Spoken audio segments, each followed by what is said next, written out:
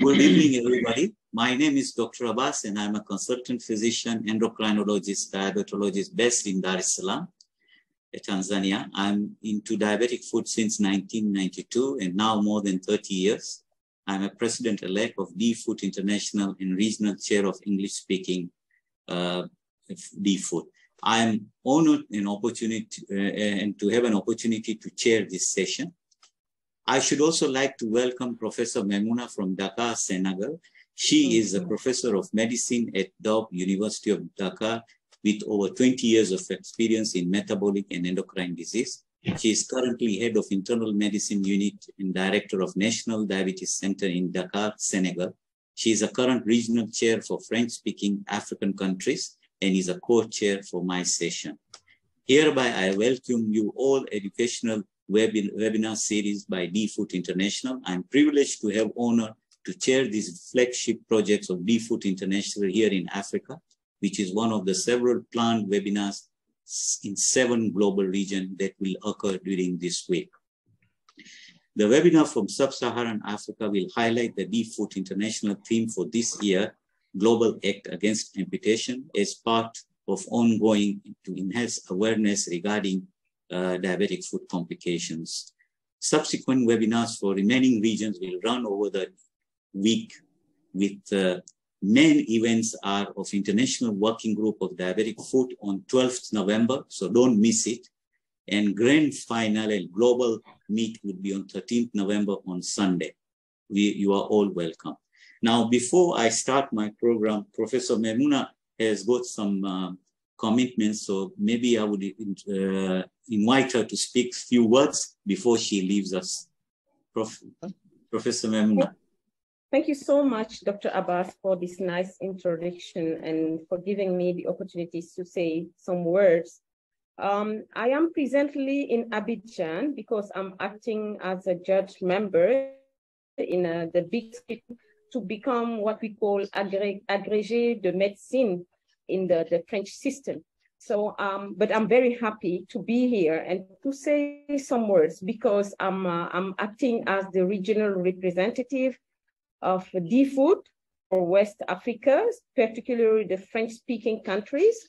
And I'm very proud of this initiative of D-Foot International, the Diabetic uh, Foot Awareness Week, because we all know the high incidence of lower limb amputations, which is even higher in our African countries compared to the developed countries.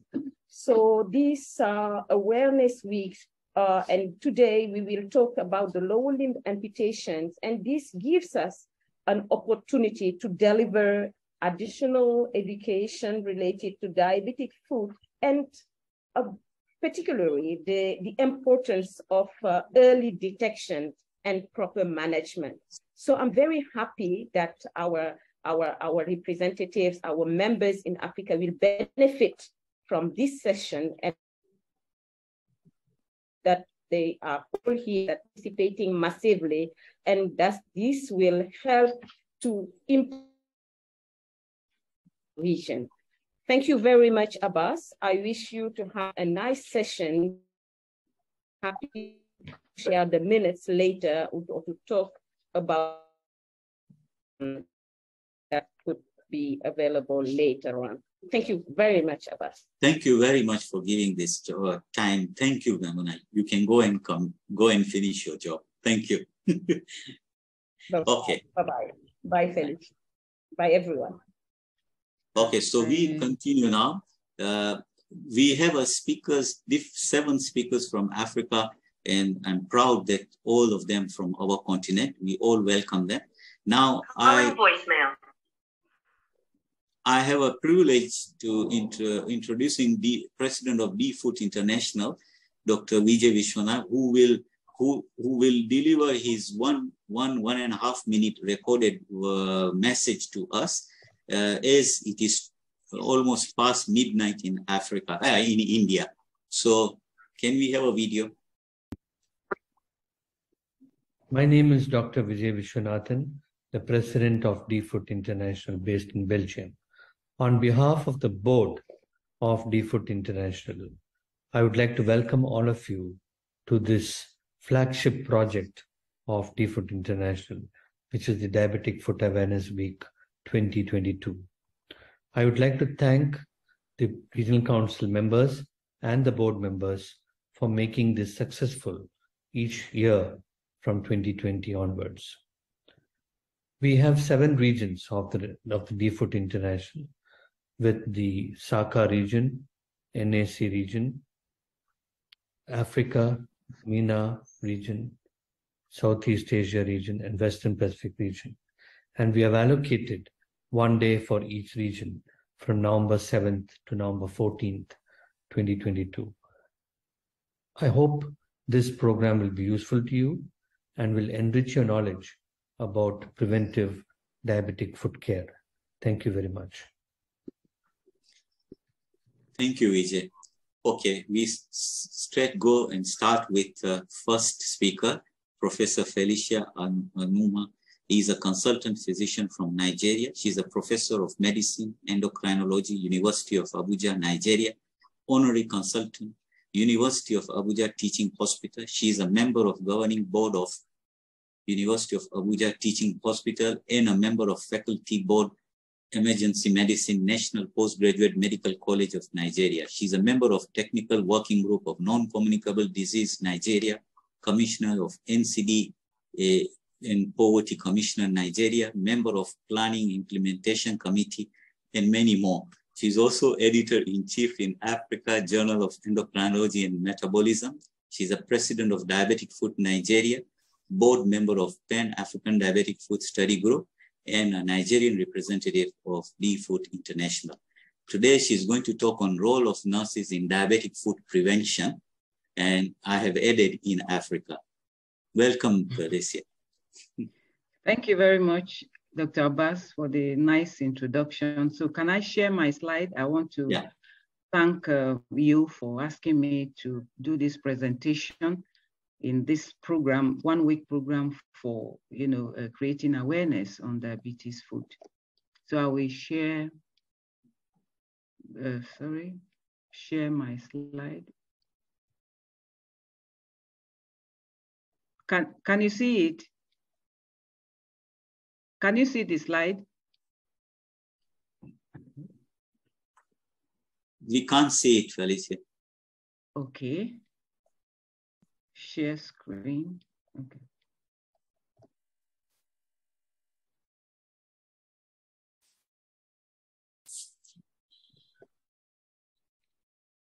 Okay, can you see it now? Yes. Yeah.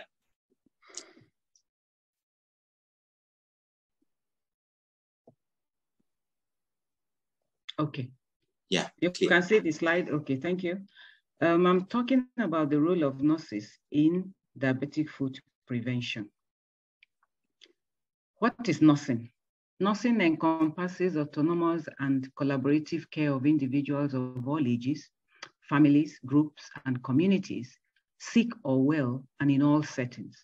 It includes the promotion of health, the prevention of illness, and the care of ill, disabled, and dying people they work on the front lines of disease prevention and the delivery of primary health care, including promotion, prevention, treatment, and rehabilitation. In many countries, nurses make up half, about half of all healthcare professionals.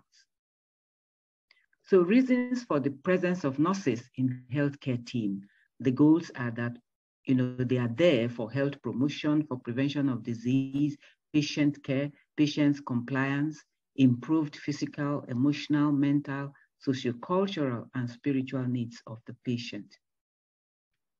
So what, what do patients want from healthcare providers? Patients want healthcare providers to be good communicators, good at listening to them, good at explaining things to them, using plain everyday language and having a good bedside manner. Now, we, we have shifted our model of care from the doctor-centered care to patient-centered care. So we also have new model of education and interprofessional collaborative teams. So we are proactive, we want to be proactive in prevention rather than reactive to the disabilities incurred as a result of diabetes complication. Now, we want to promote interprofessional education in the first instance, and that is what we are doing in this program, for example. And then education for patients with diabetes in the 21st century has evolved from limited general knowledge to clinical outcomes that encourage behavior change. From the simple distribution of information to patient-centered care education. Of course, uh, diabetes care is a multidisciplinary team care. And we can see, you know, the number of specialties involved in, you know, quality diabetes care. And of course, the nurse has a strategic role to play in this multidisciplinary team care.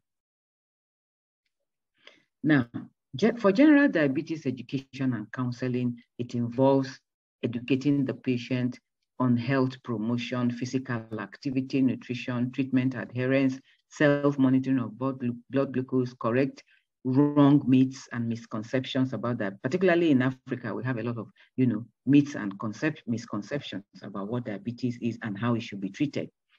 So coping strategies for adverse effects like hypoglycemia, foot care education, and then psychological counseling and support. All these we need. And of course, we also need to prevent, you know, complications from coming. Now, what is foot care. Foot care involves, you know, all aspects of preventive and corrective care of the foot and the ankle. And what's the purpose of foot care? To maintain mobility and function of the foot, to prevent injury of the foot, to prevent ulcers, to promote early healing of the of foot injury, to prevent infection and save the foot from amputation.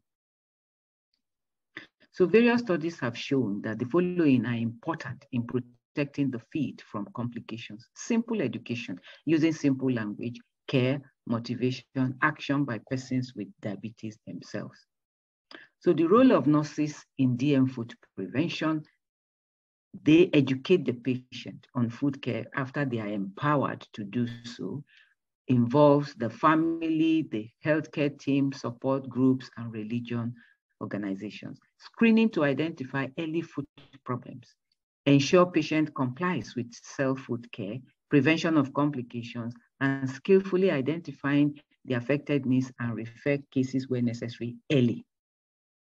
Educating patients on the importance of follow-up visits and compliance with care, evaluating patients' perception and understanding on self-care, home care for those limit who have limited vision and you know multiple comorbidities, documenting care and communicating with other healthcare providers for the enhancement of care. Now, diabetes foot care and hygiene involves, of course, instructions on daily foot care and daily inspection, care of the nails, you know, the shoes, socks, first aid, the dons, and travel instructions, care of calluses and corns. Now, this is an example of, you know, our diabetes uh, foot uh, education session in our own teaching hospital being carried out by the diabetes nurse.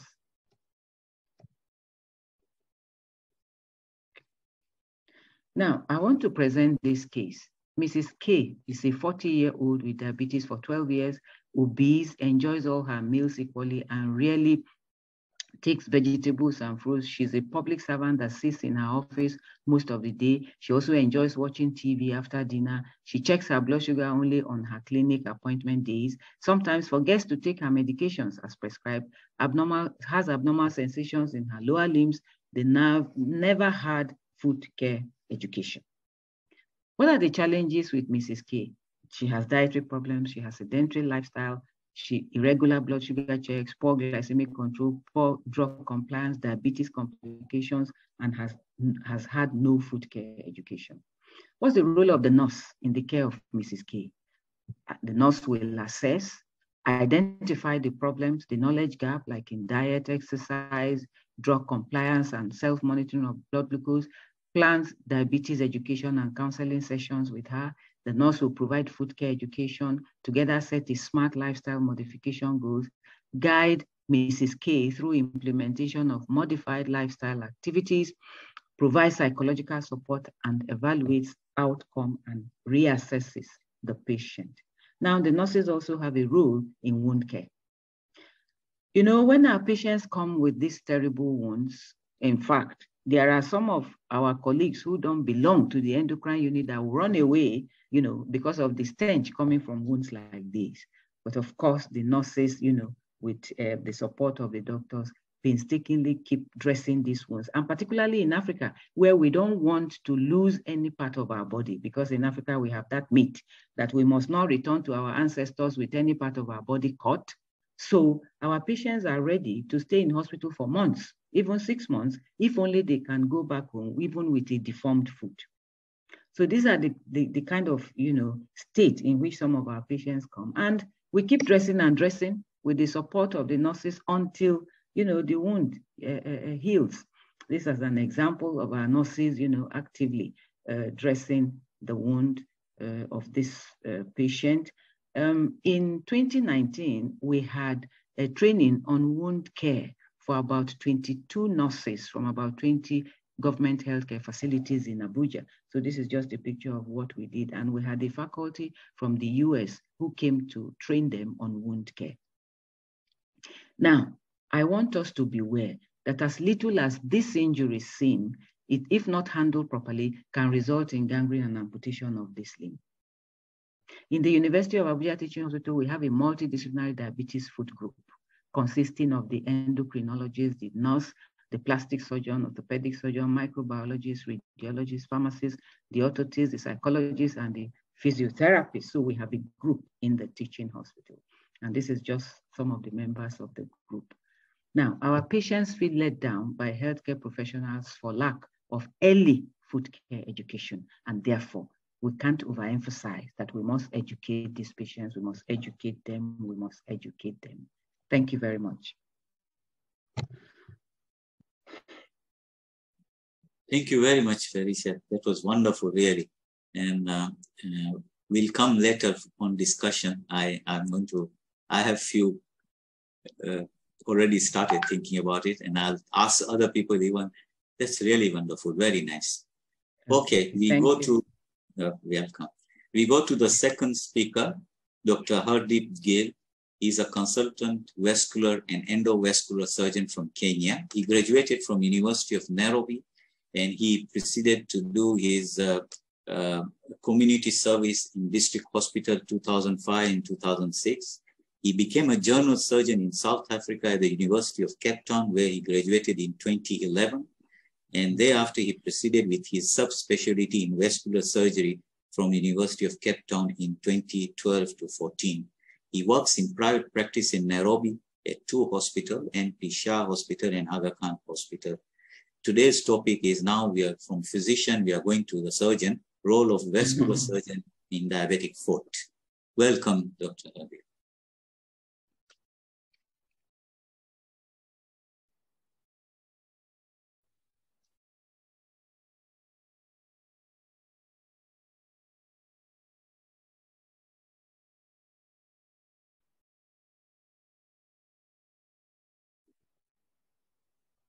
Mm-hmm.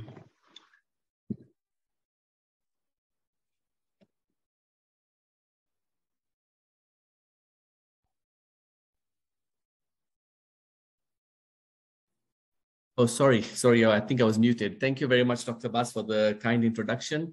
Uh, good evening, everyone. And uh, um, I'm very happy to be a part of this uh, meeting today. Uh, my topic today is just about uh, my role as a vascular surgeon in management of uh, diabetic foot problems. So patients who have got diabetes experience both large vessel peripheral vascular disease as well as microcirculatory changes. So in those uh, presenting with foot sepsis, ulceration, necrosis, or bony disintegration, a detailed vascular assessment is a clinical priority. Those with normal circulation can undergo local surgical debridement or bony stabilization, but those who've got compromised circulation may require revascularization if tissue necrosis or amputation is to be avoided. In such group of patients, just debridement alone and skin grafting and bony stabilization will not help unless you uh, revascularize um, the already occluded or stenotic blood vessels. So it's important not to rely on just a single finding such as a Doppler pressure. Uh, this may be misleading because patients who are diabetic have got uh, calcified vessels, the tunica media. They get medial calcinosis as a result of which when you do the ankle brachial index, you find that their ABI is actually very high. It's actually more than 1.0. And that's actually erroneous uh, because they've actually got some element of critical limb ischemia but the Doppler pressure does not correlate with that.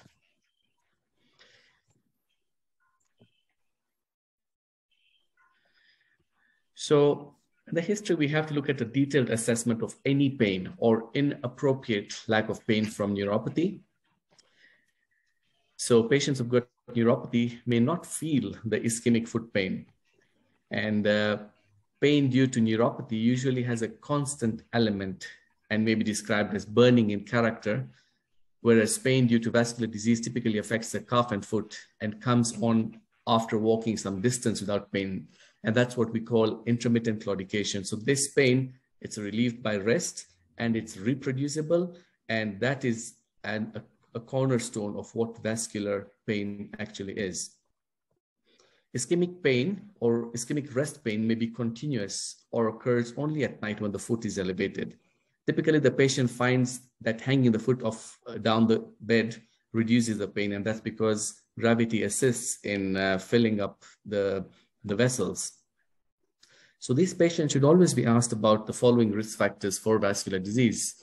The duration of diabetes and the degree of diabetic control. So if the duration of diabetes has been long, like over 20 years, they're definitely going to have an element of severe vascular disease their diabetic control. How is their HbA1c? Is it less than 7%? Is it more than 7%? Are they smokers? Do they have a family history of vascular disease? Do they have hyperlipidemia? And assess for other symptoms of vascular disease or a history of uh, vascular disease in other uh, vascular beds. For example, the cerebral bed, have they had and a history of uh, transient ischemic attacks, strokes, uh, any problem with their coronary circulation, which would present as angina or myocardial infarctions.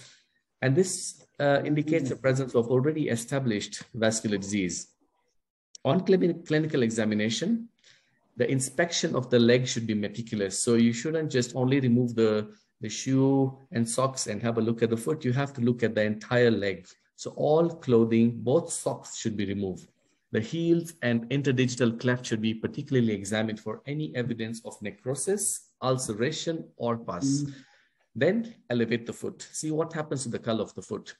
So a severely ischemic foot will turn from pink to white. and when you let it hang, it then becomes very red. And that's called a positive Buerger sign. So it's pallor on elevation and rubor on dependency what, the moment you see that, that is a sign of uh, severe ischemia. And that's basically what it is. If you look at the foot on the right side, that's, that's turned pale. The one on the left side is normal. Similar thing on the right foot over there. And uh, when the foot is uh, put in the dependent position, it becomes very red, rubor.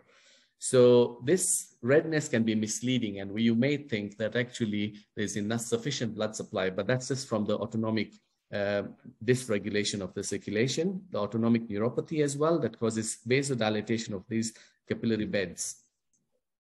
So examination should include all the pulses. The presence of foot pulses indicate that the patient has a good peripheral circulation. So if all the foot pulses are present, there are three foot pulses, the dorsalis pedis, the posterior tibial, and the peroneal. If all three are present, then you've got good circulation. If one is missing, it's okay. You've got reasonably good circulation. So when foot pulses are absent, you have to know the pattern of vascular disease. So if you have a weak femoral pulse with pulses that are absent below eight. So that's an aortoiliac disease. If you have strong femoral pulses, absent or weak popliteal pulses, that segment is the femoral popliteal segment. So you've got fempop disease. Usually these patients are amenable to uh, angioplasty or bypass. When you have normal femoral pulses, normal popliteal pulses, but absent foot pulses, that's tibioperoneal disease. And that's the commonest pattern that we see with uh, diabetic patients. It indicates a disease is confined mainly to the tibial vessels and it's pretty much more complex to deal with uh, by angioplasty or with bypass surgery. So this is just examination of the pulses, so femoral pulses, popliteal pulses, posterior tibial pulses, dorsalis pedis pulses. So those pulses have to be checked.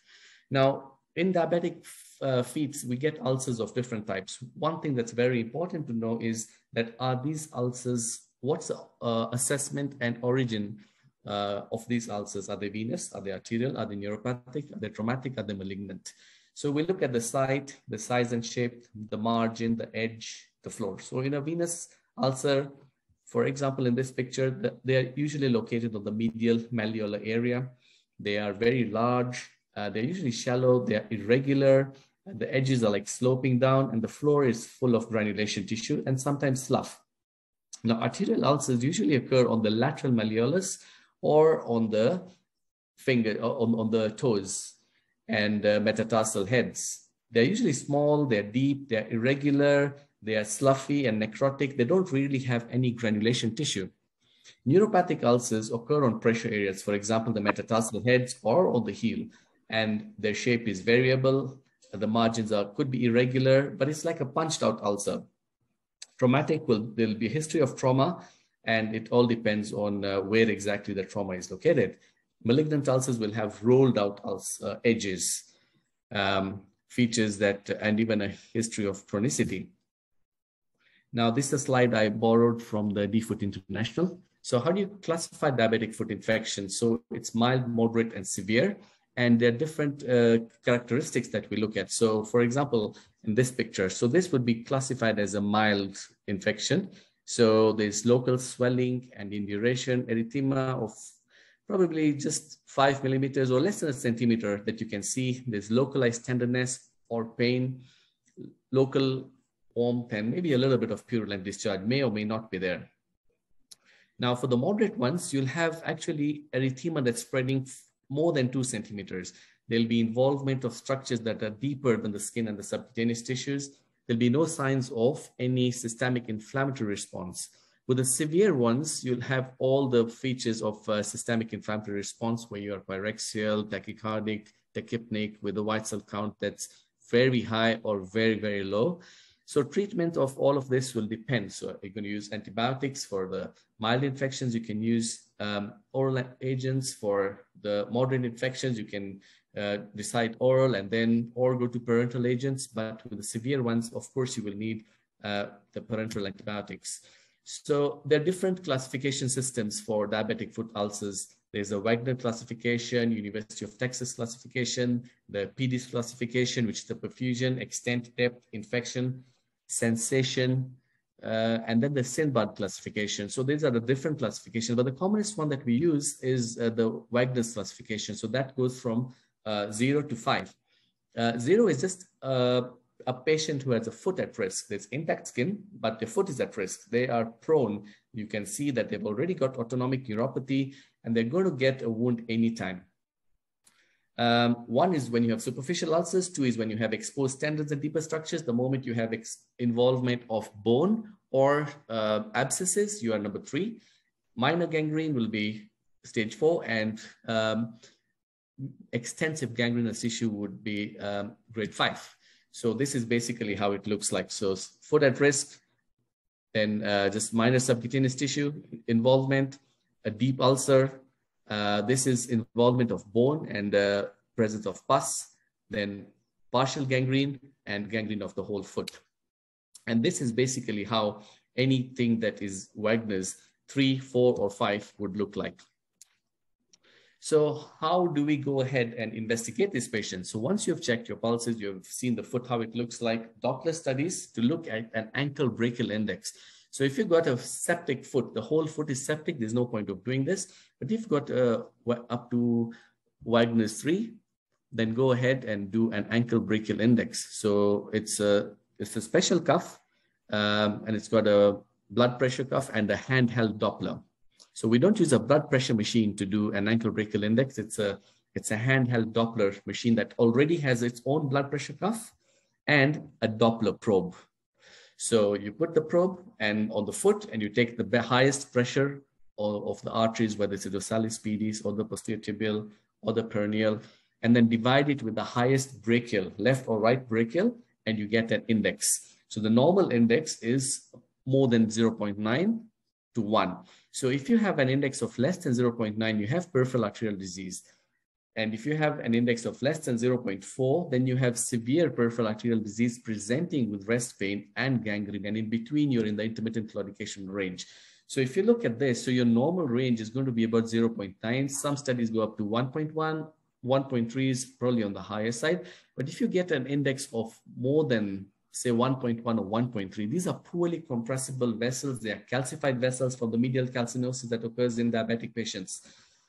0.6 to 0.9, there's mild arterial obstruction. 0.4 to 0.6, there'll be moderate obstruction. And less than 0.4, there is severe obstruction. And these patients will have rest pain or an element of an ulcer or tissue loss in form of gangrene.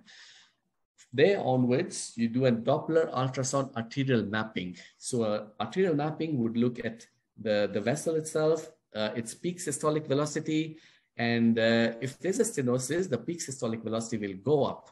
Then you use that velocity and divide by the normal velocity that you had before the stenosis. And you see, do you have a ratio of two, more than two? If you have ratio of two, you have a stenosis of at least 50%. If you have a ratio of three or four, you have a, a stenosis of over 70%. That is followed by a CT angiography where you uh, uh, intravenous dye is injected. So that's your uh, or Ultravist, depending on what's available and you actually have a look at the entire circulation that you are, is of interest. So for example, in this, it's a lower limb angiogram, and it gives an accurate road map of the vascular tree. Now, a Doppler ultrasound cannot give you this much accuracy. Here, you can see heavily calcified vessels, areas of stenosis, areas of occlusions. And if you want to treat a vascular patient, you have to have a CT angiogram as long as your renal function is normal, or else you could go for an MR angiogram. Now, invasive angiography is done in a special theater called catheterization lab, so the cath lab. So it's got an extra machine like that and a table that moves, and uh, it's a radio lucent table so that you can uh, see what exactly you're doing. So you puncture the artery, and commonly we do it at the common femoral artery at the level of the hip joint with the needle, and then we inject dye. But invasive angiography should not just be used for diagnostic purposes. It's done for intention to treat. So you have a CT angiogram that can tell you what's happening, then you do this invasive angiography with an intention to treat. Now we're going to go in and we are going to do an angioplasty, stenting, or maybe it's not amenable to that and you go straight for bypass.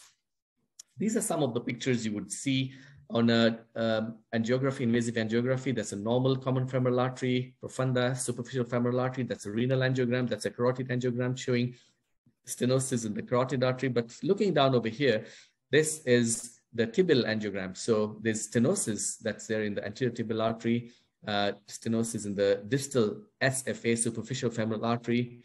So those are some of the things that we can see. So how do you treat these lesions? So if lesions are amenable to, uh, so smaller lesions, we have got a TASC classification that goes from A, B, C, and D. I won't go into the details of that. But if you've got short lesions, they are amenable to angioplasty and stenting. Longer lesions, you yes, you can try. But like extremely long lesions, those ones would require uh, a bypass. So with an angioplasty, if that is the plug, you try your best and cross it with a wire. Once you've done that, then you put a balloon, stretch it, and see what happens. If there's no recoil or no other complication, you may leave it as that. However, if there is recoil, then you may need to keep that vessel open with a stent. So similar thing, you puncture the femoral artery and you do the angiogram and you continue doing the dilatations. For example, this is a patient who's got a superficial ulcer on the dorsum of the foot. Invasive angiography shows disease. All three vessels are diseased there. And with multiple areas of high-grade stenosis, what we call a beaded appearance. And then after angioplasty, you can see that there is good flow of blood into the anterior tibial artery and a partial reconstruction of the arch. So this is the patient who had gangrene of all the toes. So for such a patient, if you want to save the foot, the only functional amputation would be a transmetatarsal amputation, which is what you can see on the right side. And that heals over two to three months. But before that, you need to actually revascularize this patient. So this is what he had. So very diseased uh, superficial femoral artery, uh, an occluded uh, distal superficial femoral artery. Wire goes through the lesion, and then sequential angioplasty is being done with the balloon. And you can see the waist that's over there. That's the balloon stretching up till it opens up completely. And that continues all the way to the popliteal artery and all the way down into the tibial vessels till finally you've got flow into the foot. This is an example of a patient who requires an iliac angioplasty. So high-grade stenosis and a moderate-grade stenosis. So that's a balloon angioplasty. And to keep it open, we had put a stent over there. Patient who had only gangrene of uh, one of the toes, uh, amputation of the fourth and the fifth as well done because it was, there was involvement of it uh, intra-op. Uh, an angiogram that showed that there's an area of uh, stenosis, angioplasty done. So once we do all these things, how do we define our success? So success is, is defined in different ways. Clinical response, technical success, technical failure, hemodynamic success. So in clinical response, we're looking at resolution of symptoms, limb salvage, and patient survival. Technical success, less than 30% recoil after the angioplasty and flow to the pedal arch is very important. You need to have uh, velocities, okay, leave those velocities alone, and an improvement of an ABI of 0.1 to 0.15. So if you started off with an ABI of 0.4 and you went to 0.6, you have done very well. Technical failure would be failure to revascularize the target uh, vascular lesion and hemodynamic success. There are some uh, measurements over there which we don't need to really go into. So we also look at primary patency. So you open a lesion and it remains open, that's primary patency. You open a lesion and a few months down the line, uh, ultrasound shows that there is a stenosis that developing, but before it occludes, you go in again and dilate it. That's called assisted primary patency. Secondary patency is once you have done the primary procedure, you did not uh, try to save or salvage any stenosis that was developing and you got an occlusion and then you finally open up that occlusion, that's called secondary patency. Now, if you revascularize the area, the vessel that was of interest, for example, in the tibial arteries, the, the biggest artery is your uh, posterior tibial artery. If you revascularize that, that was your intention, then that's called target lesion revascularization. So if you uh, actually um, revascularize that because of its angiosomic distribution, then you've done a good job. Okay. Uh, there are other factors of determinants of outcomes for endovascular treatment. For example, how is the lesion? Is it a proximal lesion? It's a distal lesion. Is it a stenosis? Is it an occlusion? Is it a short lesion? Is it a long lesion? Is it a focal stenosis or are there multiple stenosis? So that's characteristics of the disease. Pattern of vascular disease. Is it single vessel disease? Multi-level disease? Is it three vessel runoff? What is the best? Or is there poor runoff, less than three? Patient demographics, gender, and comorbid disease. Clinical presentation is very important. Are they just claudicants or are they people who've got ulcers and gangrene, what we call critical limb ischemia, and intraprocedural factors? Uh, did you have a stenosis, residual stenosis? Did you get a dissection? Or what happened. So these are some of the factors we look at when we see how, is this patient actually going to get success from this treatment or not. This is another example with an area of uh, high-grade stenosis in the popliteal artery, angioplasty being done, and you can see there is wasting of the balloon. Uh, finally, everything is open. And one thing that is very important in angioplasty is that there has to be flow to the pedal arch. If you do everything possible and you have flow up to the ankle joint here and nothing going to the foot, you're not going to save that foot. Okay. Uh, people may ask, how what's the treatment outcomes and how successful are these uh, procedures? So the initial success rate is over 95%, almost 100%. Uh, your limb salvage rate, if it's only you're treating the femoral popliteal segment, the segment between your hip joint and your knee, your overall limb salvage is pretty high. Your three-year patencies are like 60, 70% for claudicants. For critical limb ischemia, they're less than 50%. Now, if you compare angioplasty and stenting, uh, is there is there any benefit? Should you just stent everyone, or should you do angioplasty and then have a look and see uh, should we secondarily stent? So this pink one is angioplasty, and the brown one is stenting. And your restenosis rate will always be higher with the angioplasty one uh, compared to the stenting. So actually, you will see that uh, stenting demonstrated significantly diminished rates of restenosis we stent, but we stent if it's required. Uh, if you look at the outcomes, the stenting outcome is definitely much better. Now, it depends in which group, claudicants or people who've got leg ulcers or gangrene. So if you're looking at, at claudicants only, angioplasty and stenting is almost the same. If you are looking at uh, patients who've got um, um, occlusions, uh, critical limb ischemia, then stenting group does a lot better than your um, uh, angioplasty group. Now, you know, these are plain balloons. Now we have got different balloons called DEBs, drug-eluting balloons, or DCBs, drug-coated balloons. The drug of interest is paclitaxel. So it's like packed onto the balloon. So when you go and deliver angioplasty, the drug is delivered into the blood vessel, into the tunica media. So the reason for that is that it reduces the restenosis rates. And it's been shown in all these different studies that are there. We don't have to go through them, but if you just look at that graph over there, that whatever it is, um, angioplasty with a drug-eluting balloon is much, much better than angioplasty with a plain balloon.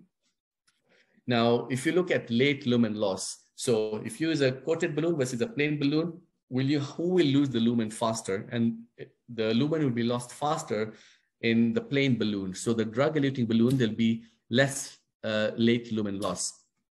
Now, if you look at target lesion revascularization, definitely much benefit with a drug-eluting balloon. As you can see that this diamond over here favors drug-eluting balloons on both studies. Okay, now what about major amputations? So if you use a drug-eluting balloon or a plain balloon, are you saying that we'll not get amputations? We will get amputations because it depends on the state of the foot and the sepsis in it. So that's why once this touches the this diamond, touches the middle of this line over here, there's actually, it's not statistically significant. So you can't say I use a drug-eluting balloon, I shouldn't get an amputation. So if you look at drug-eluting stent versus drug-coated balloons for revascularization, there isn't much of a difference. It's almost the same. You'll probably see the difference very later on in life. So treatment outcomes, what about if we do a bypass and uh, compare it to angioplasty? Which one is better? So there was a trial called the BASIL trial, and this one was basically uh, bypass versus angioplasty for severe ischemia of the limb. So basically, if you look at two years, there's no difference in amputation-free survival. Uh, patients who are very frail, their life expectancy is actually less than two years, you would rather give them angioplasty. It's minimally invasive. And if they've got a good life expectancy of more than two years, then you would give them bypass surgery. Now, treatment outcomes for angioplasty below the knee, the infrapopliteal angioplasty, they've got a very good technical success rate, uh, two-year limb salvage rate, uh, almost 60 to 70%, and two-year freedom from critical limb ischemia, 60 to 70%. Now, there are some technical failures that you can get. You can get dissections, stenosis, you can occlude the vessel while you're doing the procedure, you can throw a thrombus down and cause dysembolization. And late failure happens because of smooth muscle growth. And to reduce that smooth muscle growth is when drug-eluting or drug-coated balloons actually help. Surveillance, how do we follow up these patients? You do, uh, you do uh, clinical examination, ankle brachial indexes, and duplex ultrasounds. And if you find any problem, do a CT scan. Of course, risk factor modification, diabetes, hypertension, cholesterols, and smoking cessation, your antiplatelet therapy, and your statins.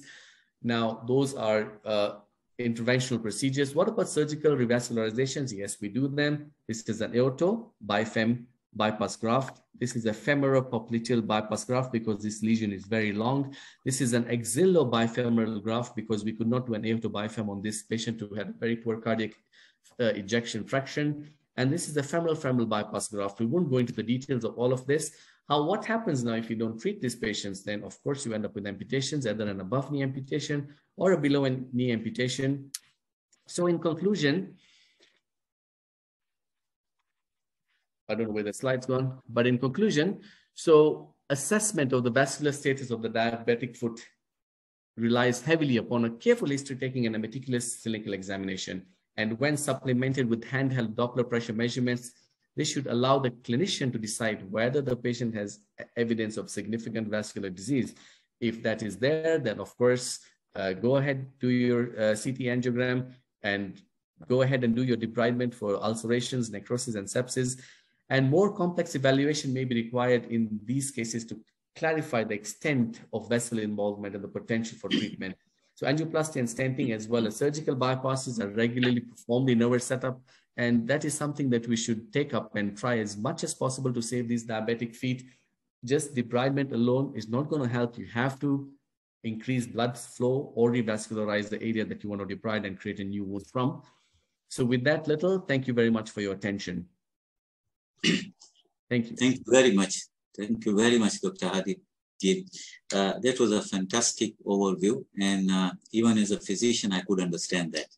And we needed it because now diabetic foot is becoming a baby for surgeon. Thank you very much. The, the discussion will be later on. Okay, coming to the, yeah, coming to the third speaker, Dr. Tshidi Mbonani, a podiatrist from South Africa. She's a qualified podiatrist with over 13 years of experience. She's currently working in a public sector as well as a private sector where she tirelessly focuses on studying the limbs. And she has served as a wound care committee at Chris Hani Baragwanath Hospital, where she also served on advisory board. This includes serving on advisory board for healthcare companies. She's also still involved in continuous educations for podiatrists and other professionals in wound care, currently uh, in a trends in diabetic foot management. Our topic for today is a role of podiatry in Africa in the management of diabetic foot ulcers. So we started with nurses, we went to surgeons, and now we're coming to podiatrists. Welcome, Dr. Mbonani. you are muted. Muting, unmuting myself. Uh, thank you so much for, for a beautiful introduction, Dr. Abbas. I'm going to try and, and be as gracious as my, my previous two um, speakers uh, because I will be repeating some of the things that they have said. Um, so we cannot um, talk about diabetic foot ulcers without um, looking at what it is and how what are the challenges in Africa. And it, by the time we get to 2040, we're looking at just over um, um, um, a number of in the hundred millions. And with an increase in the disease burden, we find that there will be an increase in the presentation of complications such as diabetic foot ulcers. Um, and I mean, if seven out of 10 adults are undiagnosed, some are actually admitted um, with, a with a diabetic foot ulcer and they only then realize or are diagnosed um, in that instance. So it is important that we look back at why is this um, we having this burden of disease and how can we then looking at how, how, how much is increasing and how can we prevent diabetic foot uh, ulcers. Uh, our perspective is that with an increase in diabetic uh, diabetes mellitus di uh, diagnosis, there's an increase in diabetic foot presentations because this is one of the complications that generally pre presents commonly. We also need to consider that um, when we're looking at the prevalence, it's progressive. If we are unable to, to, to then prevent, it means we are missing the mark somewhere. And diabetes associated with urbanization, lifestyle changes, as well as the age population. In my unit where we've been doing um, sunscreen, we actually found that um, the elderly are now coming in and are newly diagnosed with diabetes. We've also as, uh, uh, realized and also found that the newly diagnosed patients that are, are increasing between the ages of about 35 and 45 which is also a concern because some of them have presented with diabetic foot complications. Now, diabetic foot um, complications, we, we need to consider that we, we are we need to consider that they present simply because of a couple of, of factors. And one of those is that access. Not a lot of people, especially in an African continent, have access to a, podiatrist. They do not get their feet assessed. They do not get necessary services.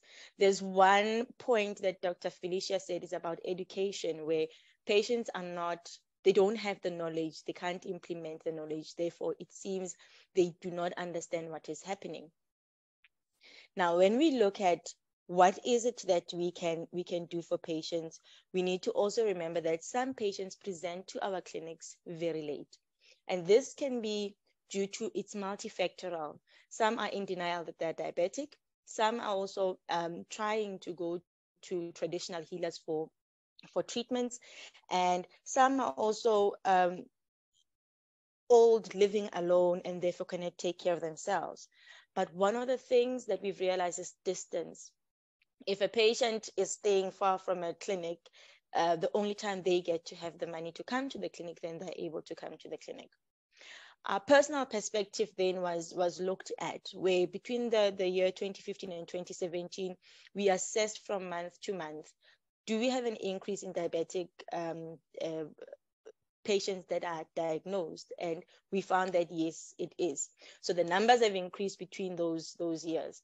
We wanted now to see what is the correlating factors 60% of those patients were actually presenting with a hyperglycemia and 20% of those patients were newly diagnosed diabetics and the numbers are actually quite high.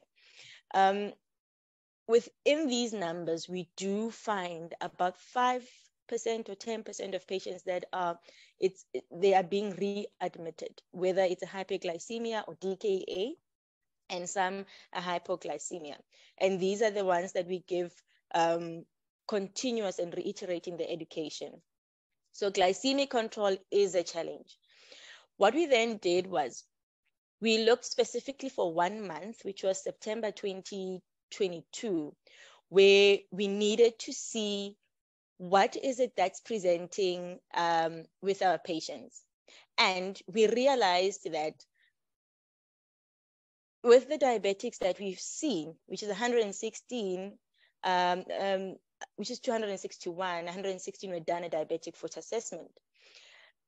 The one of the things that came out was that 52 of these patients presented with wounds and 47 presented with diabetic peripheral neuropathy, and then 22 presented with peripheral vascular disease.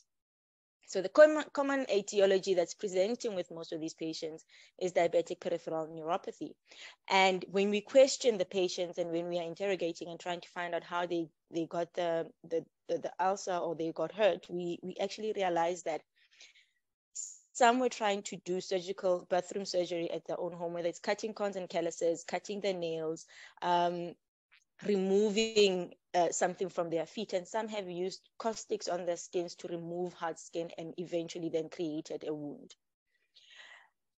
The shocking part is the amputations that we have seen. And this is what brought us to, to fight and, and to to work harder at empowering the patient so that they understand that they have to play a role in the prevention of diabetic foot ulcers and ultimately um, amputations. And with limb salvage uh, being our mantra and limb salvage being our main um, approach, we, we, we do find that at times patients, because they present late, they end up having um, amputations that ultimately force them to, to, to where we can't even save. So with these uh, patients that we saw, um, 13 of them had ray amputation, eight had transmit, and uh, Dr. Gill was correct. One of the other functional ways of making sure the patient will be able to be functional is to do a TMA. But what was concerning for us is the amount of BKAs we saw. And the common denominator was that there was foot sepsis and there was nothing that can be done.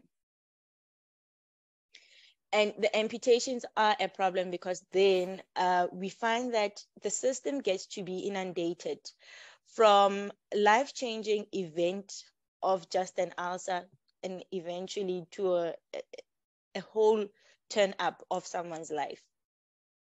So diabetic foot ulcers are altering events. And it's a frequent com uh, uh, complication. And as you can see with this picture where this dog is sitting and thinking it's fine, our patients find ourselves sitting just like that. Um, it is quite traumatic for them and it's also quite confusing because they see these things happening that they did not actually expect, but they are happening. Peripheral uh, neuropathy plays a big, big role. Micro and macro angiopathy as well plays a, a, big role. That is why we then go back to um, what kind of an ulcer are you seeing? Is it neuroischemic? Is it ischemic? Or is it just an external force, pressure related? And we find that most patients that present with diabetic foot ulcers have got some part of peripheral neuropathy. It's a financial burden. Now, patients from a socio-economic, they also, you find that then they lose their jobs or they can't go to work anymore. Um, obviously, recurrences of, um, of ulcers will cost money for the patient as well. So we're looking at um, hospital stays are caused by, by, by diabetic foot ulcers, prolonged hospital stays as well, hospital admissions as well.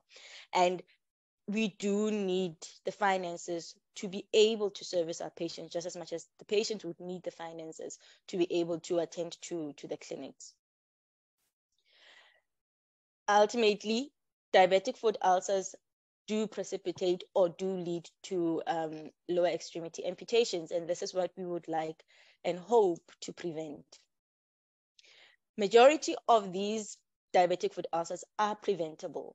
Um, and this is where we know that we can teach uh, basic podiatric home care or foot care and patients if they do comply or if they do adhere then they would be able to notice whatever it is that might be a concern and they would present to us much quicker so what is the role of a podiatry in the management of um, diabetic foot ulcers the biggest one is prevention, prevention, prevention. And part of the prevention is being able to educate your patient, not just about the diet or understanding glycemic control, but also of just how to take care of themselves at home. Diabetic foot education, and I was quite chuffed when I saw um, Dr. Felicia's picture because that's exactly what we do. You do a one on one session with patients, or you can do a group session um, where you educate and you empower your patients so that they're able to implement it when they get, get home. One of the other preventative me um, measures or um, things that we can do is regular assessment. If a patient um, doesn't have any signs of any complication, you can see them once or twice a year, even if they do not have a problem generally what we would say is if we've seen that you have peripheral neuropathy you have presented with some vascular component that is compromised but and you've also had an amputation you see us at least between two to three months. That assists us in making sure that we have a, a continuous monitoring of your foot but also it keeps us in the loop as to what is happening. Then we look at diabetic foot disease, advanced wound care, which has become a bit bigger in, in the world now. So we are working at how best can we manage patients so that they we have um, wounds for less time. How best can we implement our knowledge from offloading devices to orthopedic devices so that we can heal the wound uh, much faster, but also improving the patient's quality of life. I cannot stress enough um, about MDT, you know, multidisciplinary care is is is quite important because we cannot function in silos. We function um, as a team, and as a team, we are able to even um, not miss certain things. So that is one thing. Another one is we're looking at diabetic foot care checklist. And Dr. Gill men uh, mentioned it again. Blood flow assessment is quite key uh, your clinical, when your clinical aspect of assessment is solid, the other advanced ones would be at adjunct, but they are also key in making sure you you look at um, or you assess and you find if there is a problem. Regular assessments assist us to see if there's a change, monitor if there's a change, and if there is a change, we are able to then refer further to a vascular surgeon nerve function um, assessment as well. as much as we know there's peripheral neuropathy, there are patients that present with uh, motor component that is uh, compromised, where now their feet are, get, are getting weak, they can't stand for long, they can't walk for long, and in addition to the peripheral uh, neuropathy. And there are foot changes as well. And the foot changes then result in biomechanical changes. If foot morphology changes, then it means the redistribution of pressure under the foot also changes.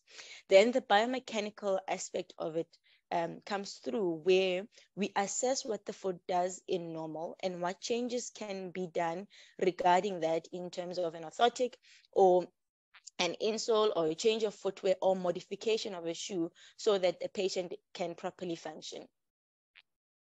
Reconstructive surgery. Um, with, with reconstructive surgery, we work very closely with our orthopedic surgeons, where we've got patients with Charcot, and we we need assistance in terms of how can they in, in be involved in the reconstruction um, of the foot, and we we have had um, successes where patients have presented with wounds due to the fact that the morphology of the foot has changed. There's collapse of the medial longitudinal arch and um, the drop diff navicular causes an ulcer and the reconstruction of the foot then assists in making certain that the wound closes as well. Multidisciplinary, very important. So we're going to look at a couple of case studies um, that we did, and this looks more at how podiatry was involved at the beginning. And the first picture shows a lady who's had um, an abscess on the calcaneus and she was debrided. And the initial um, decision was that um, she was going to do a BKA, and we had requested that can we, as podiatry, be given an, uh, an opportunity to assist the lady. She, this is a 49-year-old female, type 2 diabetic, uncontrolled glycemic glycemia glycemic readings. And also um, she had now lost her job and she was at home most of the time. In her case we used um, total contact casting which is a fiberglass boot that is um, rewashable. You can rewash it. You can reapply it. Um, and it gave us results in a short space of time in about three months. We were uh, we were already uh, at the close stages. And with her, she was obese. She had gained a lot of weight. And with the TCC, it gave us um, the correct offloading that we needed for her to heal a little bit faster. In her instance, in most of the cases that we've seen, especially in the public sector, what we would then do is we would then request for a temporary social um, grant. Um, patients need the money, like I said, to come to our clinic. So when we when we apply for the temporary social grant, we are able to be assured that the patient will come because then she's got the money to come. Um, unlike if we're expecting her to come, but we are not assisting her in any way in order for her to come to our clinic.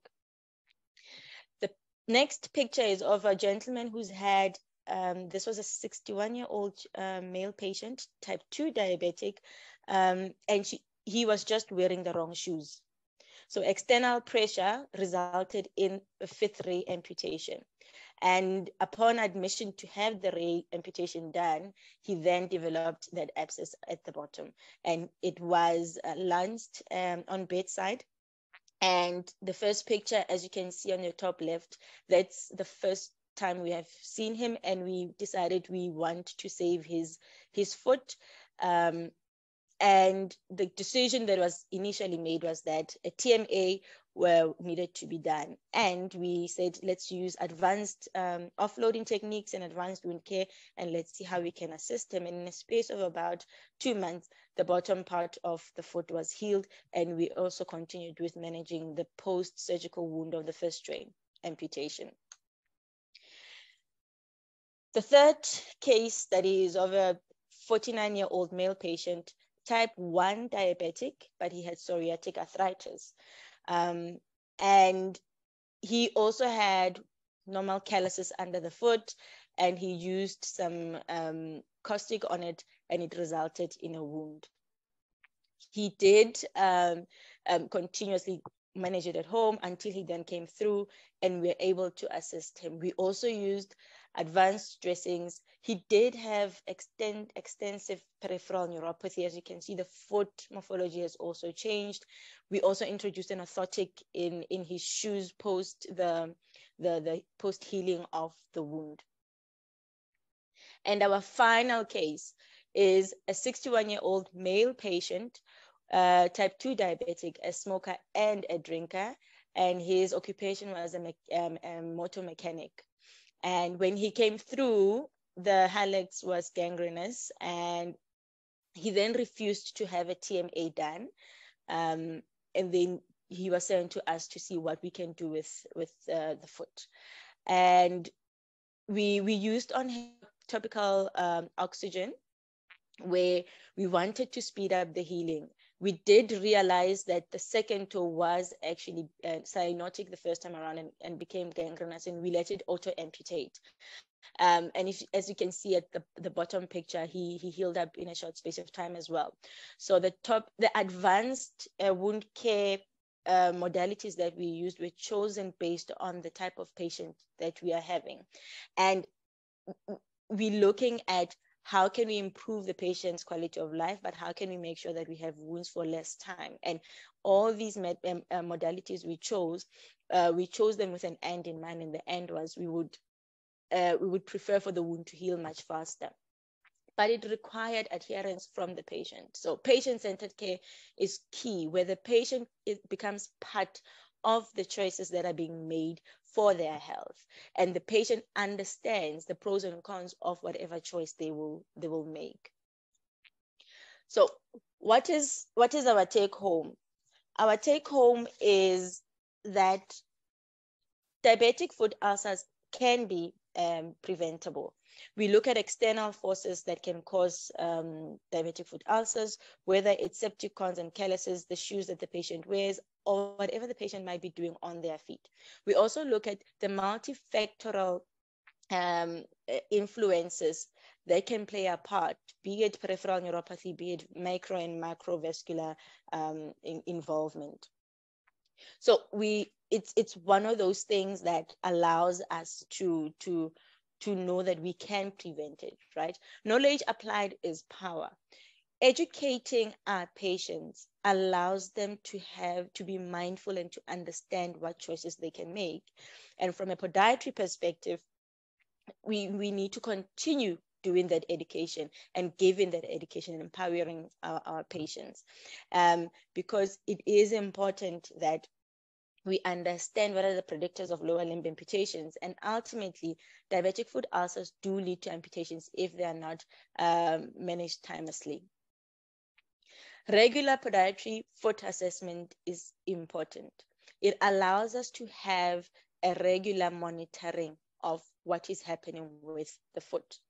Management of predisposing factors just, uh, such as hyperkeratosis, onychocryptosis, um, offloading in peripheral neuropathy, neuropathic changes also allows us to prevent um, or to encourage redistribution of pressure on the foot on the feet and therefore preventing central areas of the foot having pressure. In a paper that was done by uh, Clark and Zubani in 2008, it's still the same we're still singing the same song where education is key, assessment is key, and what type of assessment is. And part of our assessment when it comes to, to neuropathy, we're looking at the vibration cessation, where we use a 28 megahertz tuning fork, uh, cutaneous pressure, where we're using a 10 gram monofilament.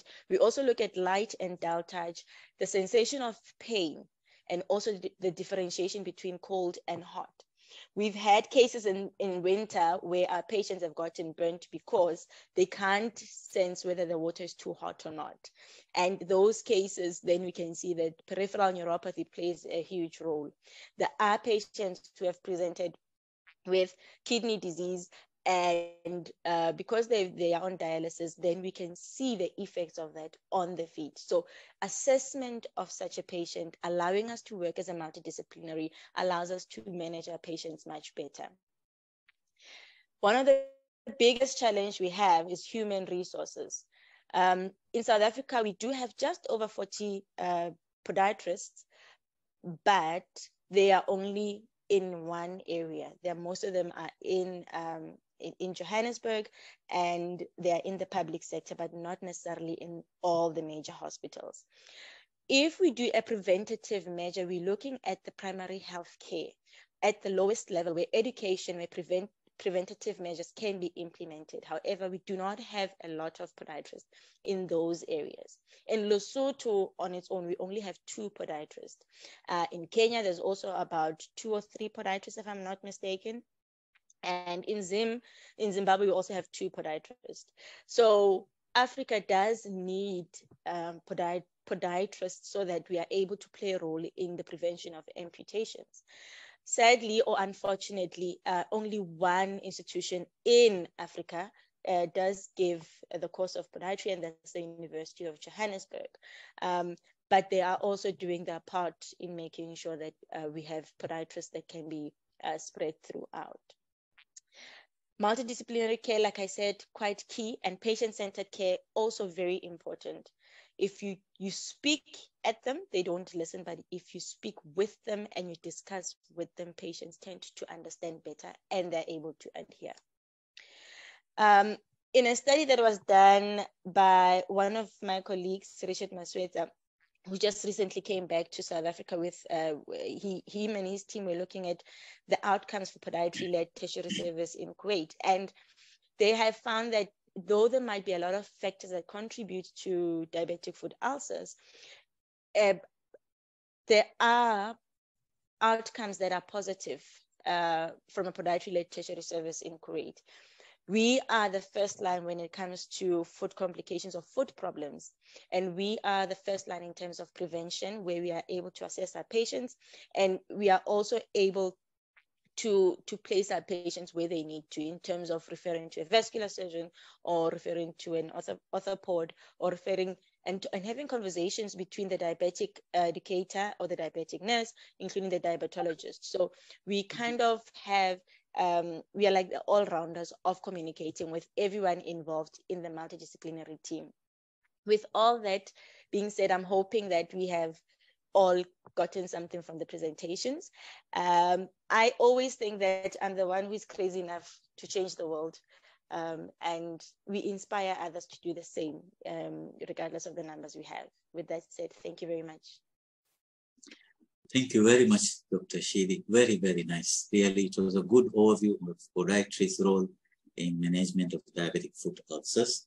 Uh, I agree with you we have the education is the only tool we have it in Africa for prevention and it is free for free of charge for the patient if it is implemented effectively. So we need to work on that. Thank you very much. Thank you. Okay, we go to next speaker uh, and I can see him. He's already here. Dr. Charles Ilingo Bongo from Brazil Brazzaville, Congo. He's a lecturer at the Department of Endocrinology and the Faculty of Health Science of the University of uh, Brazil, Congo since 2014. Head of Department of Endocrinology, Diabetology at General Hospital and since 2010 and since 20, 2009 is a scientific advisor and a trainer of uh, uh, Diabetes Association with the project of decentralization of diabetes care in Congo. Today's topic is, is diabetic foot, the Congolese experience. You are welcome, Doctor. Thank you, sir. Thank you very much for welcoming me, for inviting me to this talk. I'm very uh, pleased and I'm very grateful now for being here as an invited speaker. And you as my mentor and uh, Professor Maimouna too, I'm really, really happy to be here to share my experience and the long journey you took me through diabetic foot in Africa. And now I'll talk about the Congolese experience. So let me share my, uh, I don't know how to do this.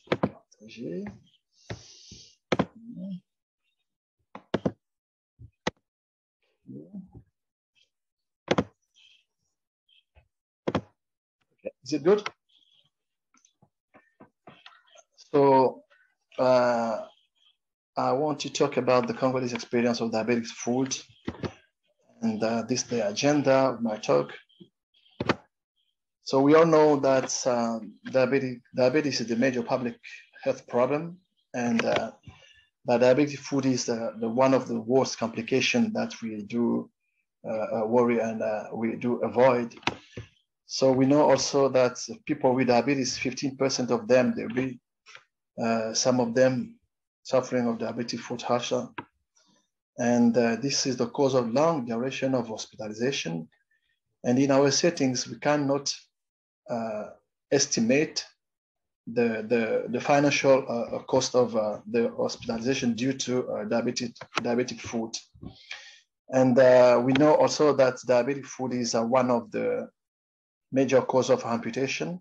And every 20 seconds, we know that we have an amputation due to diabetic foot.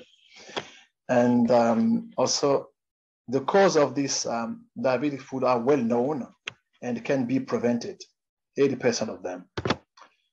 So talking about diabetes in Congo, our data are some of very, very um, old now because the, the, the only one um, step survey we have, it was in 24 in Brazzaville. And that we found that diabetes in our population was about 7%. And one study uh, was conducted in the hospital setting in Brazzaville. We found about 15% of uh, uh, diabetic foot in my setting, in my city where I work, actually, I found 8.5. And we found also some factors like um, uh, peripheral vascular disease in some patients without uh, ulcer, 40% when you use an ankle brachial index, or 25% when you use Doppler uh, ultrasound. And neuropathy also is to, to common, yeah, 80, 84% with diabetic foot have neuropathy. So how is uh, the management of diabetes organized in my country? We know that um, we have to build the to to take some stakeholders and policies in around the country through the Ministry of Health. At the level of this uh, uh, organization, the Ministry of Health in Congo, we have a national program. The national program, which include NCDs, but without any specificity any specificity about diabetic foot, nothing like this, but only it includes all non-communicable disease. But when we come to the hospital level, actually, I do remember when I came back, it was 14 years ago to my country, I was the fifth endocrinologist in the whole country. But actually, we are almost, we have 14 endocrinologists in the country. They are distributed in two cities, the capital city and Pointe Noire, which is the second city of the country, in six different hospitals. And then you can see the teaching hospital is the oldest hospital in the country. It has 12 beds dedicated to diabetic foot. That means uh, many, many cases of diabetic foot admitted in this hospital are uh, really seen there for being occupying the beds in the, in the hospitalization. The General Hospital Adolphe Sicé in Pointe Noire, where I work since 2010, I have a total of 15 beds and sometimes I can find out more than 50% of my beds are busy by diabetic foot. And we have also some new um, practitioners in uh, new hospitals in, uh, in this city of Pointe Noire. We have also an active associative, associative initiatives, which uh, carries um, trainings, partnerships, and advocacy and awareness about diabetes in general and diabetic foot also. And this association has um, centers which various uh, diabetes activities, and some of them are really focused in diabetes food, uh, which was uh, uh introduced with DIAFI, the Diabetes Africa uh, Foot Initiative. This, with the association, we built um, a model of decentralized uh, di diabetes care in Congo. Myself, I was, as you said, a trainer, an advisor, so this, we built this um, model that take diabetes through all the centers, all peripheral centers in the country, connected to the specialized centers, which are in Brazzaville and in Pointe Noire. So everywhere in these centers, we can screen diabetes and all its complications. And the, the, the peripheral centers can refer to the reference hospital or to the central specialized in the teaching hospital of Brazzaville or Pointe Noire. This we built during 10 years with some partners uh, partners like uh, uh, World Foundation and other partners. So are all resources available in my country where we talk about team approach, where we talk about management of diabetic foot. Actually, what we have when you see any components of tab uh, of, of diabetic foot, we have we can do X-ray easily. We can do scanner or MRI. We can do culture, but some uh, screening tests are still not available, like angiography, TCPO2, and uh, MRI or scintigraphy, or maybe biopsy, tissue biopsy. This is for us a very difficult issue to, to good management, to put a good diagnosis and to manage this uh, type, uh, the diabetic foot. Uh, we, our journey to uh, management of diabetic foot in the country started with uh, the, the, the, challenge of building the teams. And that's, we uh, went through a skills acquisition, like through conferences, congresses, international congresses, and trainings, international workshop and webinars and uh, so that we can uh, um, load international standards and recommendations through the country, which will help with diagnostic and treatment. So the diabetologist myself, I was, I started with my training in uh, 2009. And uh, I, I, think you do remember it was in 2009 in Kinshasa when uh, we met the first time and um, I was even installing the computer during the training. So that was the beginning the start beginning, but anyway, I didn't lose my help and I, I still continue. We got some training after that, the joint ADA and ASD IDF in Tanzania. And then we went to education program with IDF.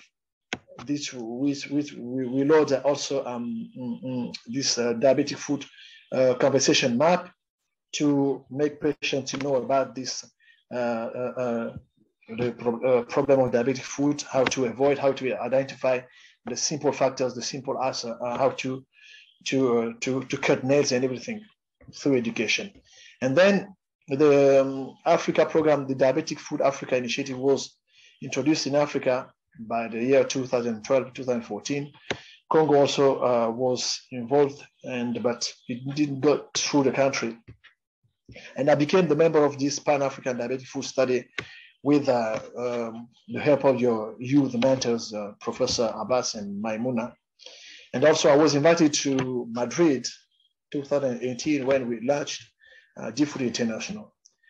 And after that, we finished with the Train the Foot Trainer Africa in Marrakesh, that was for the Francophone side in Africa, uh, with um, the South Africa, uh, Cote d'Ivoire, Congo, and uh, also some country from um, um, Maghrebian Africa, like uh, Morocco, Tunisia, and Algeria.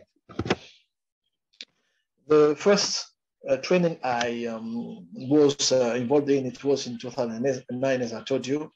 So that was the first initiative I really, really appreciated. And it was like a new hope in our settings because we developing country, we didn't have anything, but we got some experience from Tanzania. We can we could, we could know that without anything, without simple things, we can challenge, challenge with diabetic foot. So with this training, with theoretical and practical aspect of management of diabetic foot, we went through a week.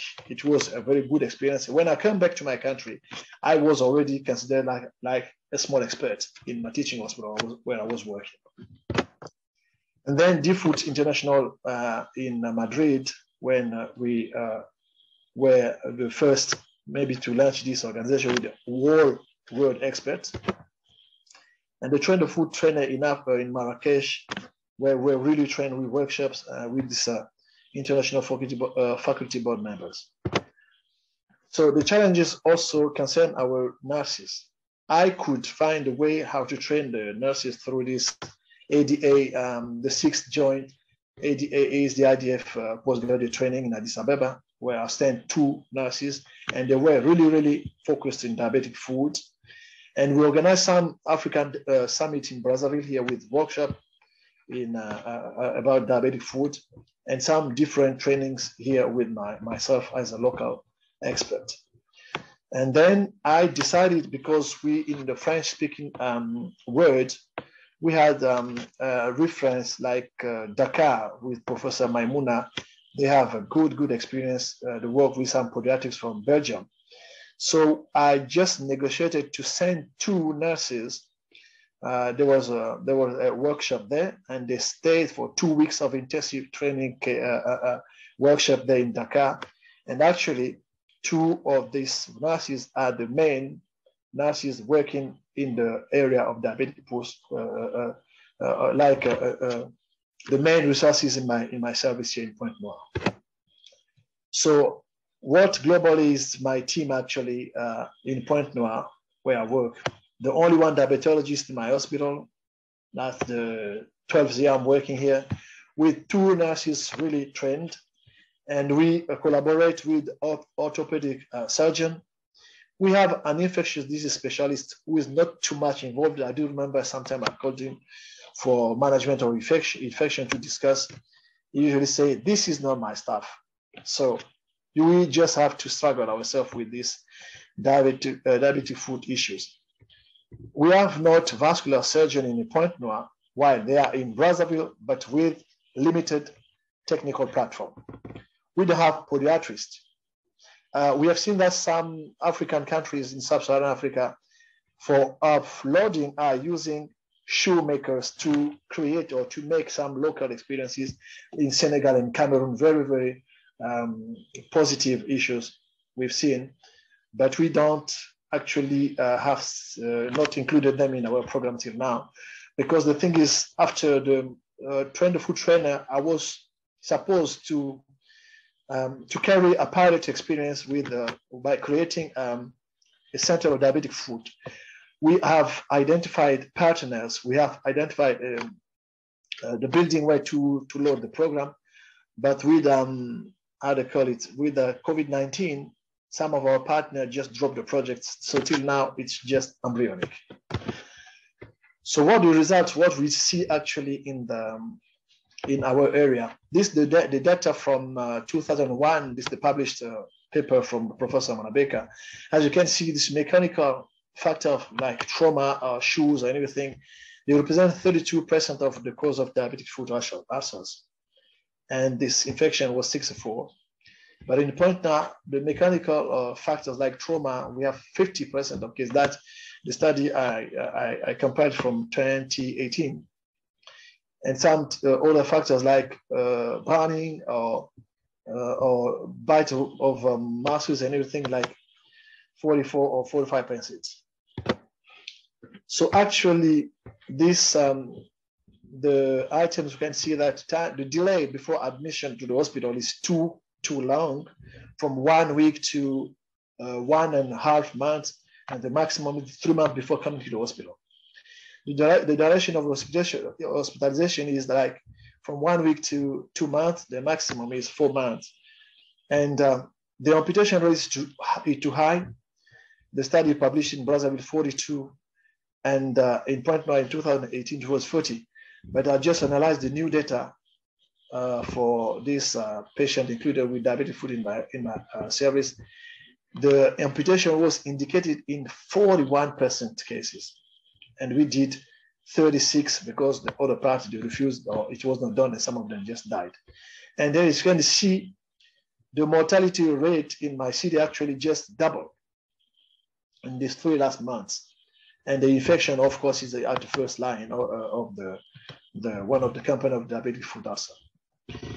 One thing specific we can see is even if we are not doing the, maybe properly um, uh, the culture, but what we can see when we do, when we perform the culture, we find more gram-negative uh, uh, microorganism than uh, the published uh, common like gram-positive in Pointe Noire. And uh, common antibiotics I know like amoxicillin or other eyes, we find imipenem, amikacin, and every every time that's the uh, antibiotic, antibiotics we see almost more than 50% of the cases. Um, the treatments, as I said, we start with the broad spectrum antibiotic, antibiotics covering gram positive and gram negative and with anaerobe, anaerobe sometime when we feel that they are present. And then we do cultures. But actually, we're still limited with the swabs, which not actually recommended. We're supposed to use uh, the tissue or bone biopsies. And uh, since we were trained to that, I used to discuss with them the lab where we perform these uh, cultures, but they said they are not able to perform the, um, the culture with biopsy of tissue or bones in it. So we still continue with the with the swab and we go deeply. We try to go deeply to have this culture. So that's a small, maybe not a small or a big bias of our uh, data actually to identify microbes here. So predominantly, predominantly, as I said, it's gram negative and with these antibiotics, as you see. So this, um, the case we usually see, and uh, as you can see in the pictures, the way we manage these uh, uh, cases. Are really, really uh, uh, infected foot, which was uh, really good managed, and it's really handled with a, good, it was, it, it healed totally. Uh, this also uh, I've just seen it recently, and uh, he's been treated for two or three months already. He came with an infected foot, and with the surgeon, we just removed this. He did a good debridement like this, and actually, we can see the way it handed. It was really a good result. Uh, with uh, some compo components of um, PVD, as you can see, this patient just underwent amputation of three toes, and also the uh, uh, uh, pro, prognosis was very good with the, the healing of the, the lesion. Here also you can see the same thing. And this, like the way people come at admission, this peripheral disease, peripheral arterial disease you can see. But anyway, this patient was too lucky, as you can see, we just, uh, he, he underwent a limited amputation of the first and second two and with the, the good results finally. The um, difficulty we have actually is um, with peripheral vascular disease. What we noted is like when we see peripheral vascular disease, the final issue is amputation. Let it be amputation of the two or maybe of the leg, because we don't have revascularization available. And when if, if you have a, a small, a limited uh, ischemia in one or two tools like this, when you just started to uh, do the amputation of the tools, you will see that the ischemia will be extended. And finally, you, you will go to uh, the, the amputation of the whole leg. So in our setting, actually, what I'm fighting, I think it's just prevention.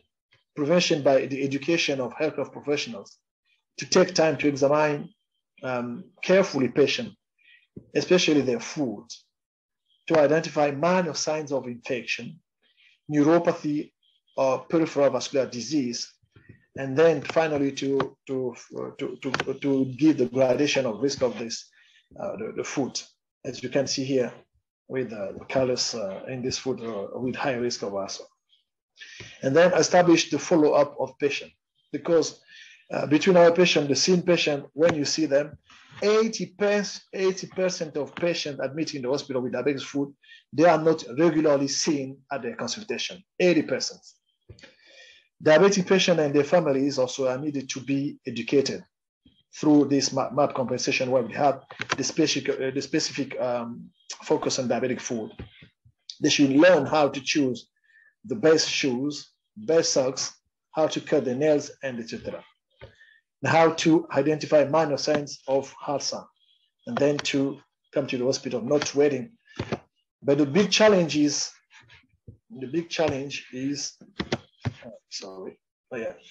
Okay, also we try to, to do uh, some um, uh, uh, program with media to educate people with, uh, with diabetes, sorry, for through the media, for them to to learn and to know how to treat themselves through the media with some um, local uh, uh, TV channels here.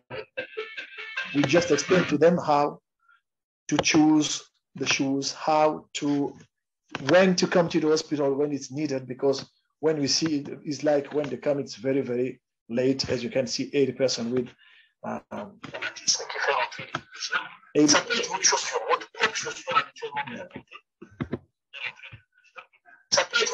votre propre So this is a TV program we, we, we conduct with some channels here. So the weaknesses actually uh, in our uh, settings like evidence-based international recommendations are not always, not always accepted. Accepted by health care professionals. Like I've been trained, all the time you tell them that, um, for example, use use simply normal saline to uh, uh, uh, to clean your, your your wounds. They don't believe, they don't trust, and they just do as they've been used to do, as like uh, uh, they don't know about evidence in uh, as recommended. We have lack of specific program at the, the level of the Ministry of Health there are still lack of awareness, even still we are fighting. And that lack of actors, of course, we don't have pediatrics and educators on diabetics foot. Technical, technical platform is still insufficient. As you see, we don't have uh, revascularization available. And there are still, as everywhere in Africa, some myth and traditional practices which um, uh, do that patient come too late to the hospital because when they go to the traditional healers, some of them they just say, "Don't go to the hospital. If you go to the hospital, you die." And then coming to the hospital for some patient is like the last issue instead of being the first. And then we see this uh, patient with uh, 64 patients come to the hospital. They come to the, to the stage of SINBAD, five or six, 64 patients. So the delay is too high. And that's still weak for us to improve management. So in conclusion, you can say that diabetic foot in Congo is still frequent in a, in a hospital in settings actually. And the foot care it requires multidisciplinary team approach and uh, not every actors are, are really uh, involved in concerning this uh, in this problem in Congo. The international recommendation and protocols are used in uh, with, with limitations. And we, are, we have some lack of resources and technical platform. And the amputation rate, as you can see, and mortality is, mortality is still high. And then for us, we can say that the cornerstone actually is education and earlier screening of the diabetic foot to reduce amputation. Thank you for your attention. Thank you very much, Dr. That was a very good overview of your country. And I always say that keep it simple. Whatever we have it, we should use it in our uh, country as we have poor resources, but we can still do wonder. Thank you very much. Coming to our next speaker uh, is uh, Dr. James from Kenya. He's a public health specialist from Kenya and he is also a D-Foot International representative from Kenya, member of several organizations, external review of International Working Group of Diabetic Foot in Prevention Guidelines, and a founder of Diabetic Foot Foundation of Kenya, uh, geared towards the advocacy and creating awareness and prevention of diabetic foot complications among healthcare workers and, and public. He is a recipient of two presidential awards as he continues serving humanity Order of a Great Warriors of Kenya, and Head of State uh, Commendation Military Division. Uh, you are welcome, and his topic is advocacy and need for interdisciplinary team approach on limb prevention. Welcome, Dr. James. Floor is yours. Thank you, Prof. Can you see my slide? Yes, we can see it.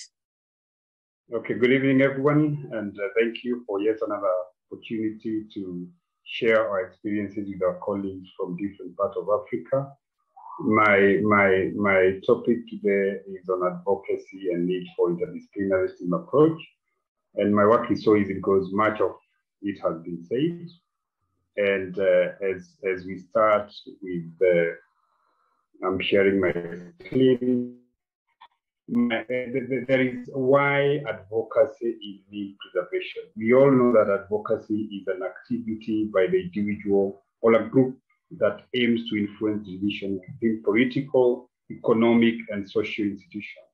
And when we talk of advocacy in, in foot care, and especially interdisciplinary team approach, we need the political goodwill. We talked a lot about resources, so economical situations are there. We need this social institutions, which are our health facilities, both private and public institutions. And uh, as we all know, the, as we approach the year 2024, we are 2045, we are, Africa is likely to have the highest increase of diabetes foot, uh, diabetes uh, prevalence in the world. Uh, know that diabetes foot complication still poses a socioeconomic, psychological, and physical impact to people living with diabetes. Uh, the speakers who are there before me have alluded to this, and a few such studies that were, were have been done, I quoted them, have indicated an increasing trend of diabetes related to ARIM, with an estimated global prevalence of diabetes foot ulceration at 6.3. The prevalence of diabetes foot neuropathy as per a systematic review that was done in Africa revealed that there is 46% of diabetes peripheral neuropathy, with the highest prevalence that was reported in West Africa at 49.4. There are a few studies that have been done in our in our country that revealed 44.6% in one of our referral hospital. And above all, 47% of these people with diabetes foot ulceration had neuropathic ulcers, 30 had ischemic ulcers, and 18 had neuroischemic ulcers, which poses a burden. And we, as we continue with diabetes foot education and as awareness, it is high time in Africa we embark on research because data is very key to our situation. Another study that revealed the high burden of uncontrolled glycemic, two studies revealed that between 85 to 90% of diabetes patients have never had their feet screened by a clinician despite having a mean diabetes duration of eight years, which is a very key concern to us. In Kenya, out of one of the study that uh, classified the, the, the diabetes risk stratification revealed that 20% of the participants out of 150 were categorized as having a high risk of developing diabetes foot, whereas 36 had moderate, 37 no risk, and only seven had no risk of developing diabetes. Diabetes foot, as we all know, remains an neglected problem in low resource setting, where Africa and sub-Saharan Africa is one of low resource setting. And this has been as a result of high rate undiagnosed diabetes, with poor control of blood glucose. And most patients, as I have earlier alluded, was 89% 89% controlled blood group. Then there is poor practice on self-foot examination due to a possible lack of awareness of importance of foot screening and lack of empowerment of the patient on the need that they should always have their feet examined, both at the hospital and their homes. Then there is late presentation, as one of our speakers said, to the clinics and hospitals. Most patients present well too late in hospitals, and these in many times resort to preventable amputation. There is lack of multidisciplinary and interdisciplinary team approach there are no clear referral pathways. And this is not only in Kenya, it, it has been touched in most of our, our speakers' presentation. There is inaccessible and inappropriate foot accessories like shoe wear, where most of the patients don't have a clear guide on where to go and get their feet, their, their shoes. And this poses an increased risk in injuries, infection, and prolonged There is always inadequate training on diabetes foot and few diabetic foot specialists. As, as our sister from South Africa said, we have very few podiatrists in the region, and patients are usually not screened during the routine check. Just like the way they are screened for the eyes, they're screened for their blood sugar, repeat profiles, they're screened for their hearts, they're screened for kidneys. Very few of our clinicians are able to do this. Podiatry is practiced, but still not yet recognized as a subspecialty. I know there are activities and processes that are ongoing with the Ministry of Health to try and see how we can train more foot health specialists, bearing in mind that training a podiatrist will take maybe three to four years. But maybe, as, as I was discussing with our, with our uh, incoming president, we need to train more nurses and clinicians to take up this role because, like in Kenya, health is devolved, and we have 47 county governments. So, if in every county we are able to train a few health, foot health professionals, we are able to make this team a great multidisciplinary team. So few of those who are trained also are mostly in the cities. So you find that in the periphery, there are very few people who even know how to examine a foot of a diabetic patient. Then there is lack of diagnostic kits. Simple monofilament tuning forks are not available. There is limited demand for foot screening due to lack of awareness and need for foot screening. Then on the other hand, we've experienced little or limited resources, allocation for diabetes, prevention, and control, including diabetes. This result to families getting their resources depleted, and it ends up causing low quality of life to many of the patients. Our national health insurance does not cover preventive or promotive care of most of the diabetic foot activity. And it only caters for some diagnostic and medication. Interdisciplinary lead? We all know that interdisciplinary refers to a method or mindset that merges traditional education concept or method in order to allow to a new approach.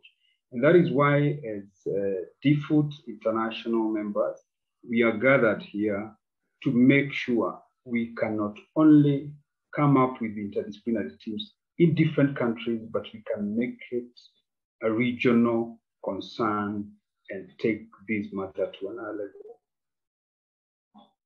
As an interdisciplinary team approach is effective method of foot care, we need to establish comprehensive diabetes test centers of excellence.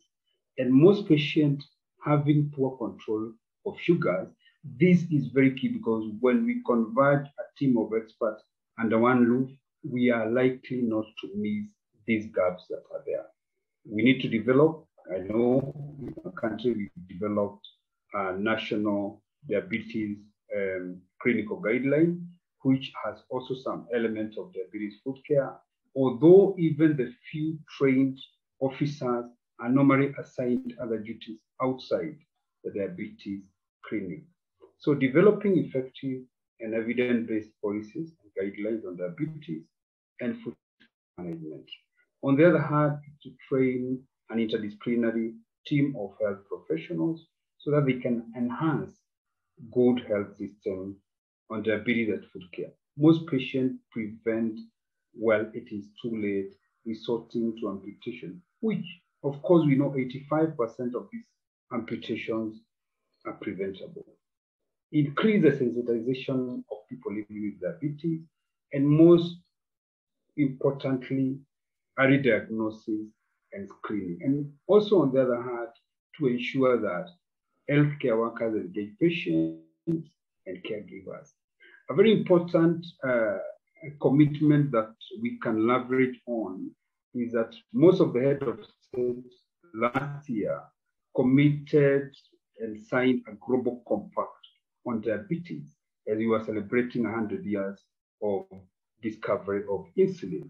And these will increase awareness and investment of diabetes care and mostly research, which we can work on implementation science to improve the universal health coverage by involving all the stakeholders involved in diabetes and non-communicable care.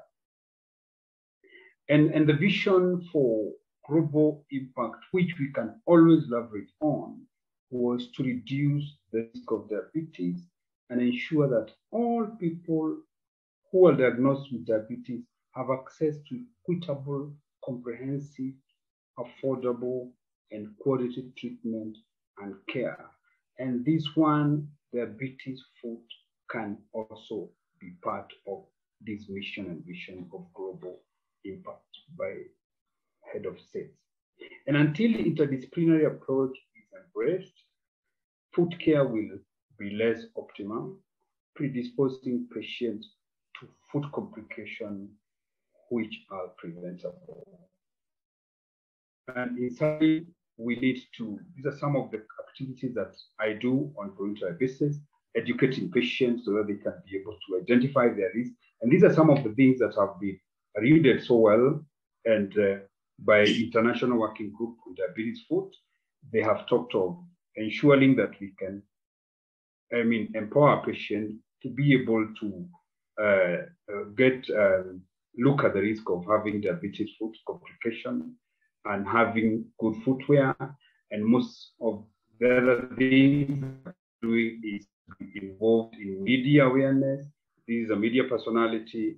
When I was giving a lecture in the media on how to identify the risk and foot examination, because with few podiatrists and few foot experts, if we empower and create more advocacy and awareness, which will lead to many Kenyans many people within the region, we are able to prevent so many amputation and limb preservation will be a dream come true. We also need to have a lot of integrated care by training health care professionals.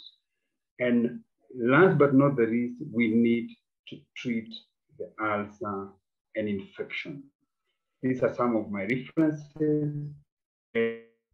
Acknowledge a few of uh, my partners and my colleagues. And in Kenya, we mostly have a lot of agri. So foot care is key to us, and teamwork will always make us go to another level and prevent our patient from getting the agony of having their feet amputated. I thank you all. Thank you very much, James. That was nice, very good. And that was one step ahead. There's a milestone in Africa, multidiscipline and interdiscipline. It was nice hearing from you. Thank okay, you. Uh, you're welcome. Okay, coming to uh, uh, another speaker from uh, Burkina Faso, Dr. Sagna. He's an endocrinologist at the University of Boni Service Medicine and uh, uh Sano, uh, Burkina Faso. His topic is diabetic foot in Burkina Faso. Welcome, Dr. Sagna. Uh, thank you, Dr. Abbas. And uh, I would like to thank uh, D-Foot International to, for allowing me to share uh, our experience on diabetic food in uh, Burkina Faso. Uh, so, uh, diabetes, diabetes in uh, Burkina Faso, uh, the prevalence of diabetes in uh, in my country is uh, uh, about five percent. when we perform the WHO steps in 2013, and the people over 15 years is almost half of the total population. Uh, we don't have the prevalence of uh, diabetic foot in uh, Burkina Faso, but all related hospitalization for diabetes is related, all diabetes related hospitalization in internal medicine department uh, of them, there is almost 15% uh, case of uh, diabetic foot. And uh, our patient is uh, characterized by the severity of the presentation and the, the infection as I will show you in the following slides. Donc, the infection, I, I, I say, uh, our patient with uh, uh diabetic foot is uh, characterized, characterized by a positive cultures uh, with mainly gram-positive cocci. it's Staphylococcus aureus. Uh, there is not a lot of gram-negative uh, uh, but I saw, I saw but that in, in Congo, with Dr. Elenga, uh, there there is a lot of gram negative, but in our setting, it's a gram positive uh, cocci.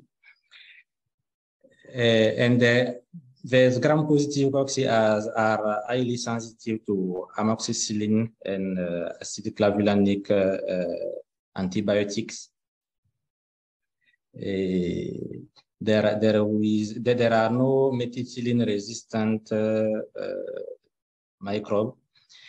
And for the, the becoming of diabetic foot, the percentage of uh, amputation of uh, lower limb segment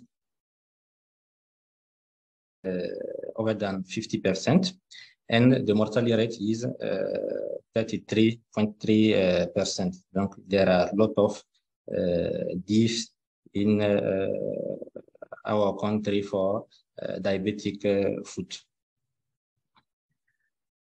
we have to face some some uh, barriers and challenges as you see uh, some uh, some pictures of uh, some patients we receive in our department because uh, people are not uh, sufficiently informed about the risk factors of uh, diabetes and diabetic foot. So it results on delayed consultation delayed management of, of uh, patient and uh, they present, uh, they usually present with some severe lesion. And diabetic foot care is very expensive for our patient. Uh, and uh, even it's, it's uh, expensive in public hospital. There is no government funding to, to, to help patients when they come with uh, diabetic foot. So some tips are been, have been done. Uh, since a uh, few years, we start with basic training of uh, mainly nurses and general practitioners uh, on the management of diabetic foot infection Eh, and uh, gen general surgeons because we don't have uh, a uh, lot of uh, surgeon, uh, general surgeons in uh, our country. And uh, there when we send some patients with diabetic foot to see them they usually say we have no time we have a lot of work. So you can't takes your patient, you have to, to normalize her glycemic. Uh, there, there are some uh, words that like them, like this. So it's difficult for a lot of patients to have a correct care from surgeons. And uh, in Ouagadougou, the capital, and in Bobo-Dioulasso, where there is the the, the, the tertiary uh, level, or the, the hospital with tertiary level of care, we try to set a, a diabetic foot unit care in uh, there's two uh, internal medicine department, but uh, as we see we have to face a, a, a lack of equipment because our platform is uh, very, very uh, small. So uh, this is some some some big problem in our setting to manage diabetic foot. So to conclude, diabetic foot reach uh, almost uh, 15 of all diabetes related hospitalization in our country. As you saw, you first to you have to first to end stage lesion. Most of infection can be successfully treated by standard anti antibiotics. We don't have government funding but we want to progressively set, setting up some uh, microcar programs uh, in uh, the other hospital in the other region, not only in uh, the capital Ouagadougou and the second two big city but in the other region where there are uh, some internal medicine uh, specialists or some general surgeons who want to help us in, to, to, to take care of uh, patients with uh, diabetic foot. Uh, thank you. Thank you very much, Dr. Sagna. Uh, it was a very nice, and uh, I, I, I've been reading your publications. Keep doing good work. Very good. Thank you. Uh, such you, a small resources you are publishing a lot. And, and I would love to work with you as well. Maybe you can set up with all the audience here, here in uh, uh, some type of study okay. in Africa. Welcome. Uh, okay. Okay, now uh, it's the the last presenter. I don't see him. Um, I think he's been uh, due to internet problem or whatever from Zanzibar. So we don't have it. So we can open it for the question answer. Anyhow, so it was a fantastic overview. We, we had all the aspect of, uh, of nurse, how to train them. We had a surgeon and podiatrist. Coming to you, Dr. Gill, because I see Felicia has also left. Uh, you know, PAD is coming up very fast. And um, uh, as I've also shown 10 years ago that now there is no difference between Indian, African, or, or a European. It's all the same like neuropathy. And I see now diabetic foot is becoming a baby of uh, surgeons now. Is from physician is going to surgeon. So what do you think we should do with uh, our surgeons in Africa, in our continent? Thank you, Dr. Abbas. Yes, that's actually very true that uh, the diabetic foot is actually becoming more and more of a surgical problem. So what we need to do with our surgeons is first of all to if possible train them in uh, vascular interventional procedures and then the general and orthopedic surgeons to train them exactly how to do proper debridements and uh, amputations that are also functional for example a tma or a below amputation so some of those things have to also be done as a teamwork in conjunction with the vascular surgeon, the general surgeon, the orthopedic surgeon. Because what happens is that in our setup, if a patient lands up in the hands of an orthopedic surgeon, they first get an amputation. And then later on, they say, okay, fine, it's not healing. Maybe it's a vascular problem. So let's just do a CT angiogram at that point. I think right from the outset, one should see that if there are no foot pulses, and most of these patients don't have it, we and the renal function is normal, let's get a CT angiogram. If the CT angiogram is not normal, let's involve a vascular specialist, which could be a vascular surgeon, could be an interventional radiologist, could be an interventional cardiologist who has uh, wire skills to do some of these procedures. So I think it has to be actually a multidisciplinary team uh, thing, and there, there needs to be more training and uh, more awareness that we can try to save as much of the foot as possible rather than just going for amputations. Thank you. Uh, really, you, you said it very well. So I will catch you. in, in my okay. tongue for the surgeon. That's very nice answer you get. Thank you. Coming Thank you. to uh, South Africa, Dr. Tish Shidi. You know, um, we, uh, I have started training long time ago our surgeons, um, uh, nurses, to work as a mini surgeon or a podiatrist. And uh, there was always being a tug of war. People didn't like that. But, you know, nurses are our backbone. Uh, you cannot do, I mean, I, we cannot do anything without nurses. 60, 70, 80 patients, they are, really they work hard and they need to be trained. So uh, here we need you uh, in Africa. We need to train, uh, as we call it, fast track, fast track training. And we can only target uh, nurses because apart from South Africa, maybe there are few in North Africa who has podiatrists. Otherwise, almost non-existing. Uh, maybe you can have isolated one here, two here, and we are 54 countries. So what do you say about that?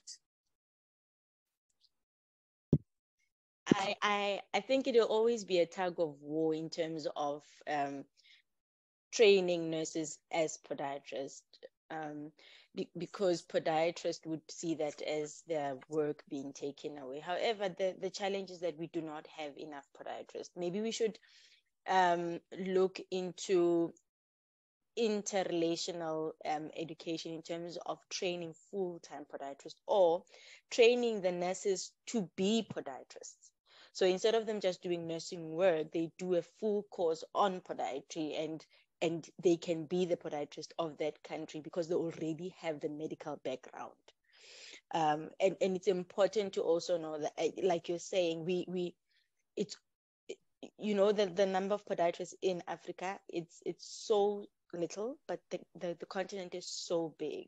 So there needs to be um, a structure in that will allow us to train for podiatrists so that they can go back into the respective countries and start doing their work. But obviously it starts with those who are already in practice who can assist those countries to, to function better. Basic foot assessment, I think it's important and we also train nurses to do basic screening. Do you see a problem? Do you have a podiatrist in your area? Then send to the podiatrist we, we, we encourage that because most of the time uh, patients walk in, in and out of, of um, consultation rooms without their feet being checked uh, because we're looking more at the glycemic control. So it's key. We need to start pushing forward as to fast tracking um, med- me- uh, our medical professionals like nurses to be podiatrists. Yeah, I, I agree with you, but the training would take two, three years, isn't it? Mm. It, yeah, and, and if then, you have a, if you have a medical background, it doesn't necessarily take that long because you have some um, modules that you would get accreditation for, and nurses do more. That's another thing. So when we when we look back, it might actually take. That's what I'm saying. It needs a proper structure where we are not also shortchanging the nurses, but we're also in, uh, raising and creating a better um, a better uh, position for the profession you, you know, um, time is not in our favor, but uh, what yeah. you are saying is been, I've been talking for past 25, 30 years. And um, uh, like James said, most of the African countries, we don't know podiatrists, we know pediatricians. Mm. Mm-hmm. Uh, they are not even on the list. So when you come back mm. to your country, you are like nothing. So what we need something, a certificate to start with to save the foot. Mm-hmm. Okay, Coming to, uh, and I think the two, four, two, four questions there, four questions which I've already answered uh, through these discussions.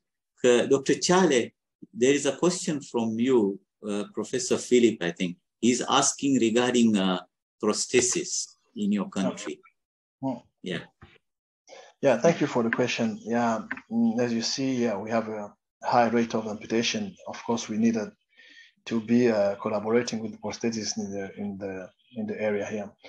But what I know in Pointe Noire where I work, actually, we don't have any center, we don't have any resources. But I usually uh, collaborate with a young man who was trained in Togo, uh, which I usually contact when the, some of my patients are in need, uh, in need of uh, this uh, prosthesis. Usually uh, go to Togo and make for them the prosthesis, and then himself is like um, uh, a, a, trainer, usually to train the patient how to work with the new prosthesis. That's in Pointe Noire. But in Brazzaville, there is a center. It's a kind of public center, but I don't have any experience working with them. Well, I know some of my patients usually go to Brazzaville, and I know that what they usually get from this center is not really, really a good one. So I've, I've, I've seen even some patients, uh, they just start and they drop finally uh, the prosthesis. So uh, Point is the second city of, of Congo, uh, one, one million people, no center available. Only one guy I can collaborate directly with them because he was trained. I even called him to work to my hospital, to my hospital, but he refused. So it's very, very good, very um, difficult issue for a patient after amputation uh, when they are here in Pointe Noire. And anyway, it's very expensive also. This young man doing this uh, from Togo, he usually travels to, to, to Togo. It's like mm, maybe two or three thousand dollars for him to go to to to uh, to to to make uh, something like suitable. Uh, so it's very difficult for a patient after amputation here actually in Noire. Yeah, and the cheaper one in, in, in Brazil is very cheap but very cheap. It means very very heavy some of them they kind of work with it they kind of use.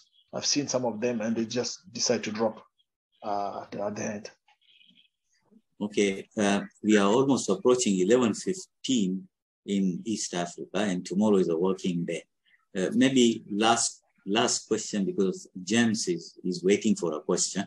Uh, james you are in touch with public so can you briefly say how to go about and teach public?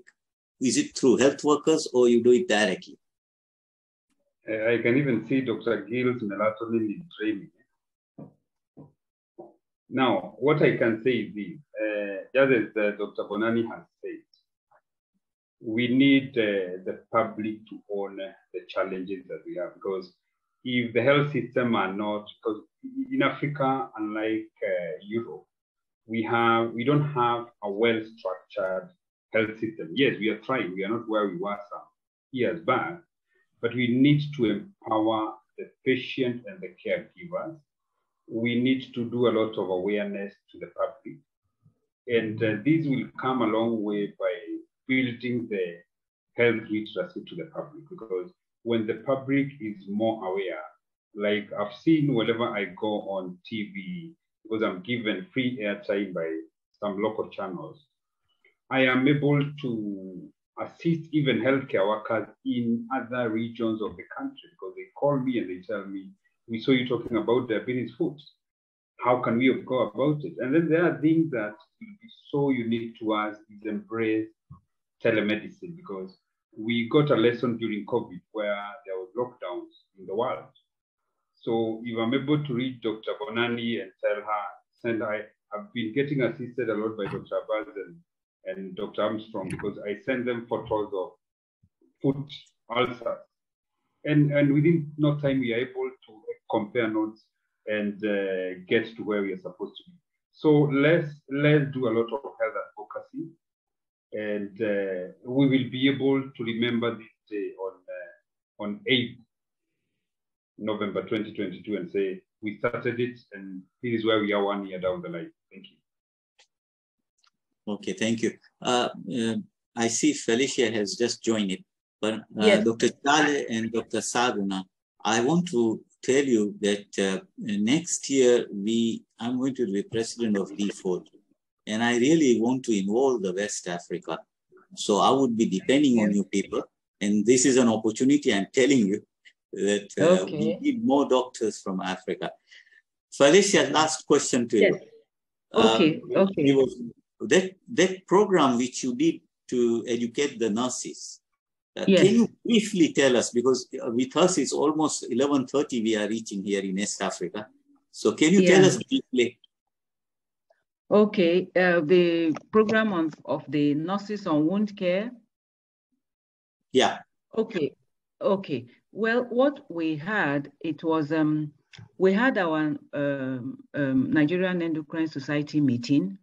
And so I invited um, a podiatrist from the US and he came and trained the nurses on wound care. That was all he came to do at that meeting. So we, we selected nurses from about 22 government health facilities that he trained on wound care with practical. Um, Dr. Abbas was in Nigeria and um, we had uh, training when we were doing a um, diabetic foot podiatry program. The nurses that were trained on wound, wound care were also trained by Dr. Abbas when he came for that program in Nigeria. So it's the same set of nurses that we had been training. Okay. Okay. Uh, thank you very much, all the speakers. I'm really very grateful. Thank you. I hope you all enjoy. And sorry for East Africans to make you wait till 11.30.